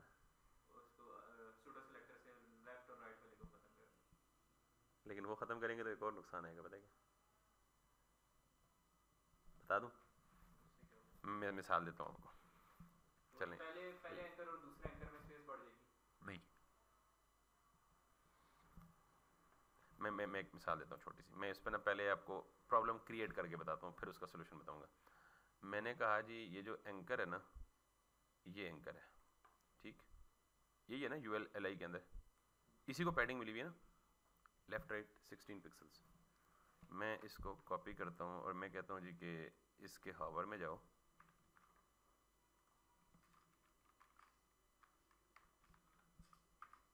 और इसको दे दो हॉवर में B G C grey for example let's see तो ये। अब अलाइनमेंट चेक करें। बराबर है या नहीं? बराबर है ना? तो अगर ये हावर इफ़ेक्ट इस पे हो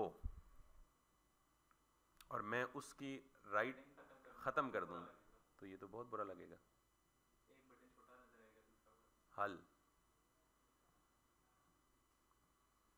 ये बड़ा इंपॉर्टेंट पार्ट है वैसे बाय द वे आपने पॉइंट हाईलाइट कर लिया मैं चले बैकग्राउंड दे देता हूँ। बैकग्राउंड इधर नहीं दे देता रेगुलर हॉवर के ऊपर नहीं दे देता। यहाँ पे दे देता हूँ ताकि आपको प्रॉब्लम ज़रा ज़्यादा समझ आए।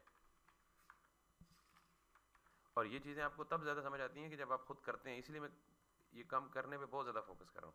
अब ये देखिए मैं इसके फ़र्स्ट चाइल्ड और लास्ट चाइल्ड की पैडिंग राइट और लेफ़्ट ख़त्म कर देता हूँ, जिस तरह पहले किया है, ठीक है? मैं इसको ये कर देता हूँ। दो दफ़ा कॉपी बनाई और एक दफ़ा मैंने ये किया। दूसरी दफ़ा मैंने किया जी के।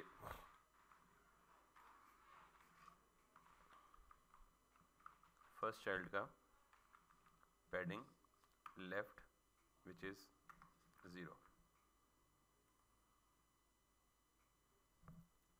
समझ आ गई बात? और लास्ट चाइल्ड की पैडिंग राइट ज़ीरो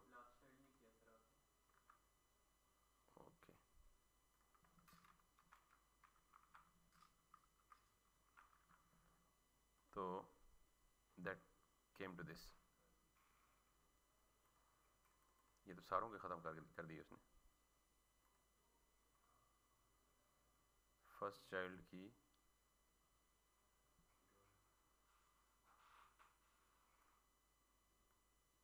लास्ट उधर भी अ, नहीं और था उसके बीच में। बीच में कोई और भी तो नहीं है इसके?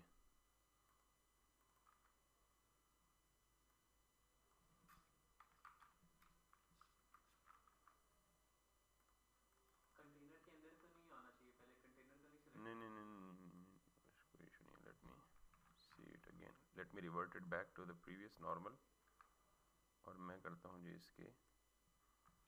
अच्छा एक चीज़ मैं आपको और बता दूँ जस्ट चेक करने के लिए। फ़र्स्ट चाइल्ड यहाँ से लगाएँ और फिर यहाँ से जाके इसको कोई भी कलर दें या पैडिंग दे दें। Left zero.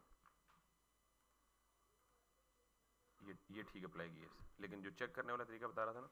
सर उसका फ़र्स्ट चाइल्ड मेरे ख्याल से वो है ना हम्म, मैं एक मिनट मुझे मुझे एक मिनट दीजिएगा सिर्फ़। मैं आपको सिर्फ़ दिखा रहा हूँ कि आपने इंस्पेक्ट कैसे करना है। मैं फिर उस पर आता हूँ वापस। आपने चाइल्ड की इंस्पेक्शन करनी है ना तो ये यहाँ पे इस पर क्लिक करें और इसका सूडो एलिमेंट देखें। एंकर ये है ना इसका बनता है।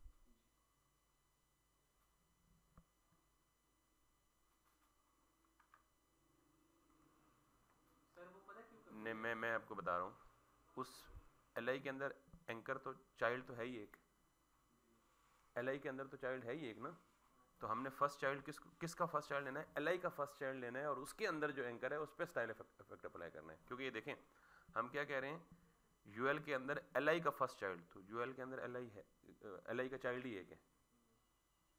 एलआई के अंदर एंकर चाइल्ड ही एक है ना। तो हम ये करेंगे कि भाईजान, आप ये काम जो कर रहे हैं ना फ़र्स्ट चाइल्ड वाला कि आप एलआई का फ़र्स्ट चाइल्ड लें और उसके अंदर जो एंकर है, उसका पैडिंग लेफ़्ट ज़ीरो करें। समझ आ गई बात या नहीं आई? देखें, मैं पहले ये कह रहा था कि एलआई के अंदर जो एंकर्स हैं, जितने एंकर्स हैं, उनका पहला चाइल्ड तो एलआई के अंदर कितने एंकर हैं? एक ही तो दैट डजेंट मेक सेंस मैं कह रहा हूँ, इन पूरे एलाइज में से पहला चाइल्ड तो एलआई तो कितने हैं? छः है ना? तो छः एलाइज में से पहला चाइल्ड कौन सा है? पहला ही एल तो पहले एलआई के अंदर जो है वो एंकर पड़ा हुआ है उसको जाके पैडिंग लेफ़्ट ज़ीरो करो। सेम इज़ विद सिर्फ़ फ्लो समझना है बस। दाऊद साहब तो परेशान हो गए हैं मैं इसलिए नहीं बताना चाह रहा था ना। दाऊद साहब इस इस वाले पार्ट को बेशक आप इग्नोर कर सकते हैं फॉर नाउ अच्छा सूडो सिलेक्टेड यानी बीच में भी यूज़ हो सकता है मैं समझता हूँ तो शायद एंड पर ही होता है बीच में सूडो करके बाद में टैग भी यूज़ कर सकते हैं। बाद में उसका चाइल्ड भी यूज़ कर सकते हैं। This is what this is how pseudo के बाद दूसरा सूडो भी यूज़ कर सकते हैं। तीसरा भी कर सकते हैं। नहीं मैं इसीलिए इस पे जाना नहीं जा रहा था लेकिन मैं इसलिए अभी कह रहा हूँ कि you can safely skip it in fact for now but अभी देख लें वो अचीव हो गया। अब प्रॉब्लम ये है कि हमने यूँ नहीं करना। क्योंकि देखें अभी तो ये बैकग्राउंड कलर फॉर एग्ज़ाम्पल नहीं है। अगर नहीं है तो फिर ठीक है जी दबी रखो। अब अलाइनमेंट भी ठीक है सब कुछ ठीक है। अगर वो हॉवर हो तो फिर क्या हो? तो जब हो तब बताऊँ या अभी बताऊँ? ठीक है ठीक है ठीक है अगर होवर हो तो? अगर हावर हो तो फिर प्रॉब्लम होगा ना। क्योंकि देखें हावर हो तो बाकी के लेफ़्ट राइट दोनों में पैडिंग होगी। इसके राइट पे नहीं होगी सिर्फ़ लेफ़्ट पे पैडिंग होगी। दैट वुड लुक ऑड तो अभी तो हावर है ही नहीं। अगर हावर है भी तो सिर्फ़ किस पे है? अंडरलाइन है हावर पे। तो बस ठीक है ज़रूरत नहीं। आप हावर पे अंडरलाइन कर दें इसको, यूँ करके। अच्छा एक और मज़े की बात बताऊँ। अच्छा मज़े की बातें बताते बताते मज़ा सारा ही किरकिराना हो जाए। जो पहले से हावर पे आप इसको कर लें टेक्स्ट डेकोरेशन अंडरलाइन लेकिन इसमें एक प्रॉब्लम आएगा। वो प्रॉब्लम ये आएगा कि देखिए टेक्स्ट बिल्कुल उसके साथ जुड़ गया लाइन के साथ। जबकि माइक्रोसॉफ्ट में देखें, जुड़ा हुआ नहीं है। तो हम ये करते हैं कि टेक्स्ट डेकोरेशन के बजाय एंकर को border bottom two pixels solid और वार थीम ब्लैक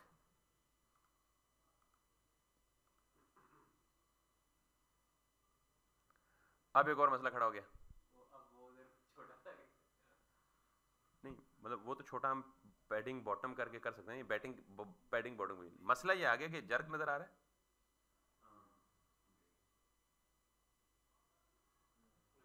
ये जर्क क्यों है? कि एंकर में ज़ाहिर है पैडिंग जो है वो हाइट में ऐड होती है ना। ठीक है, वो आ गया ना बॉर्डर बॉक्स बॉक्स साइजिंग लेकिन वो आई थिंक हाइट पे अप्लाई नहीं होता, लेकिन चलें। अभी ये जर्क आने की वजह ये है कि नॉर्मली नॉर्मल हालत में इसकी जो हाइट है वो सिर्फ़ उसकी पैडिंग की वजह से है। हावर होता है तो पैडिंग में दो पिक्सल एक्स्ट्रा ऐड हो जाते हैं। तो जो ही जिस पे हावर करता हूँ तो दो पिक्सल ऐड होते हैं तो नीचे वाला कंटेंट बॉटम हो जाता है।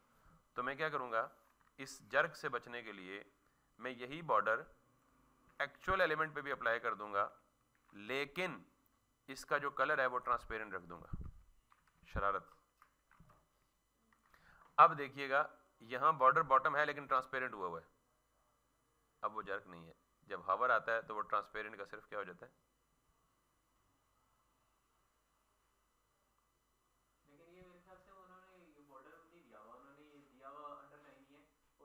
ही है दी है अब ये डिपेंड करता है उन्होंने क्या दिया। क्योंकि वो देखे वो मतलब वो जरा स्मूथ सी वो लग रही है। लेकिन इनकी जो अंडरलाइन मैं नहीं स्मूथ इसलिए लग रही है मैं मैं उसकी रीजन बताता हूँ।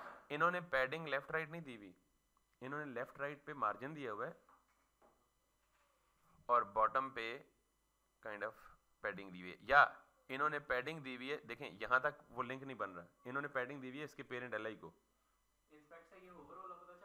हाँ बिल्कुल हॉवर इंस्पेक्ट से हॉवर देखना हो तो वैसे देखते हैं। मिसाल के तौर में अपने देखते माइक्रोसॉफ्ट का। भी पता लग जाएगा सर। क्यों नहीं पता लग जाएगा? ज़ाहिर जो तरीका हमारा है वही माइक्रोसॉफ्ट का है। वक्रा तो है नहीं। हावर देखना हो ना जब भी आपने इंस्पेक्ट पे तो आप इस पर्टिकुलर एलिमेंट को सेलेक्ट करें पहले जिसका हावर देखना है। मिसाल के तौर पर इसका हावर देखना है। ये सिलेक्टेड है। यहाँ पे आए नीचे। एच ओ वी इस पर क्लिक करें। अब ये देखें कि इन्होंने एक्टिव लगाया हुआ है। नहीं फोकस ये सारे सूडो क्लासेस है। इन्होंने ये लगाया हुआ है, इन्होंने ये लगाया हुआ है, इन्होंने ये लगाया हुआ है।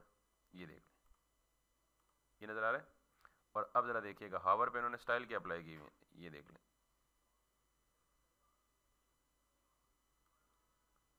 जब आप इस हावर को अनचेक करते हैं ना तो ये देखने नीचे। अब देखिएगा, हावर पे मैं चेक करता हूँ ना तो ये लगा हुआ है हावर। और हावर पे उन्होंने बैकग्राउंड ट्रांसपेरेंट किया हुआ है, और नॉर्मल पे उन्होंने ये सारे काम किए हुए हैं। तो हमने देखना है सिर्फ़ कौन सी प्रॉपर्टी बॉर्डर की प्रॉपर्टी किधर लगी हुई है। तो यार इतनी ज़ाहिर है इन्होंने इतनी और खिचड़ी बनाई होगी कि हमें सारा कुछ पढ़ना पड़ेगा।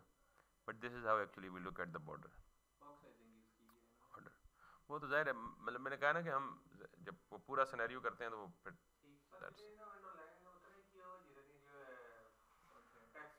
तो तो तो सर जी मैं गलती होगी फिर हेलो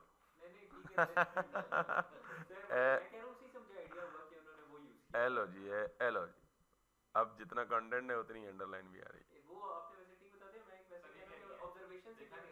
नहीं है? आप देखे भी नहीं ये वही किया टेक्स्ट डेकोरेशन अंडरलाइन तो वो अंडरलाइन उतने ही कंटेंट पे होगी जितना उसका एक्चुअल कंटेंट हो।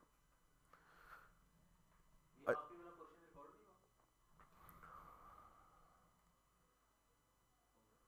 नहीं हो रहा है। ठीक है सर?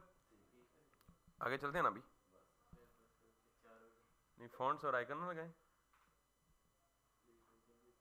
चलें लेआउट स्ट्रांग करें, वो फॉन्ट आइकन बड़े सिंपल सी चीज़ें।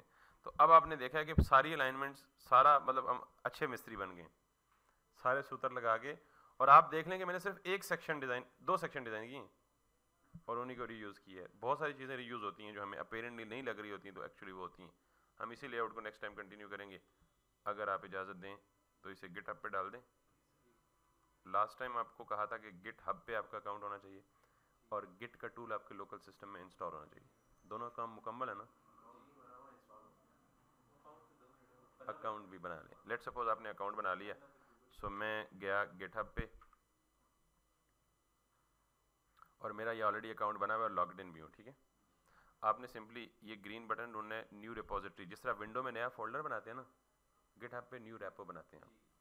यहाँ से जाएँ, अगर यहाँ नज़र कुछ नहीं आ रहा तो आप सिंपली यहाँ पे जाएँ और यहाँ लिखा हुआ है न्यू डिपॉजिटरी मैं चाह ये रहा हूँ कि मेरे लोकल सिस्टम में ये जो प्रोजेक्ट पड़ा हुआ है, इसको मैं कहाँ डाल दूँ? गिट हब पे डाल दूँ। ये बड़ा इंपॉर्टेंट लेसन है। मैं इसको ना सेपरेट सेशन में रिकॉर्ड करता हूँ आपके लिए।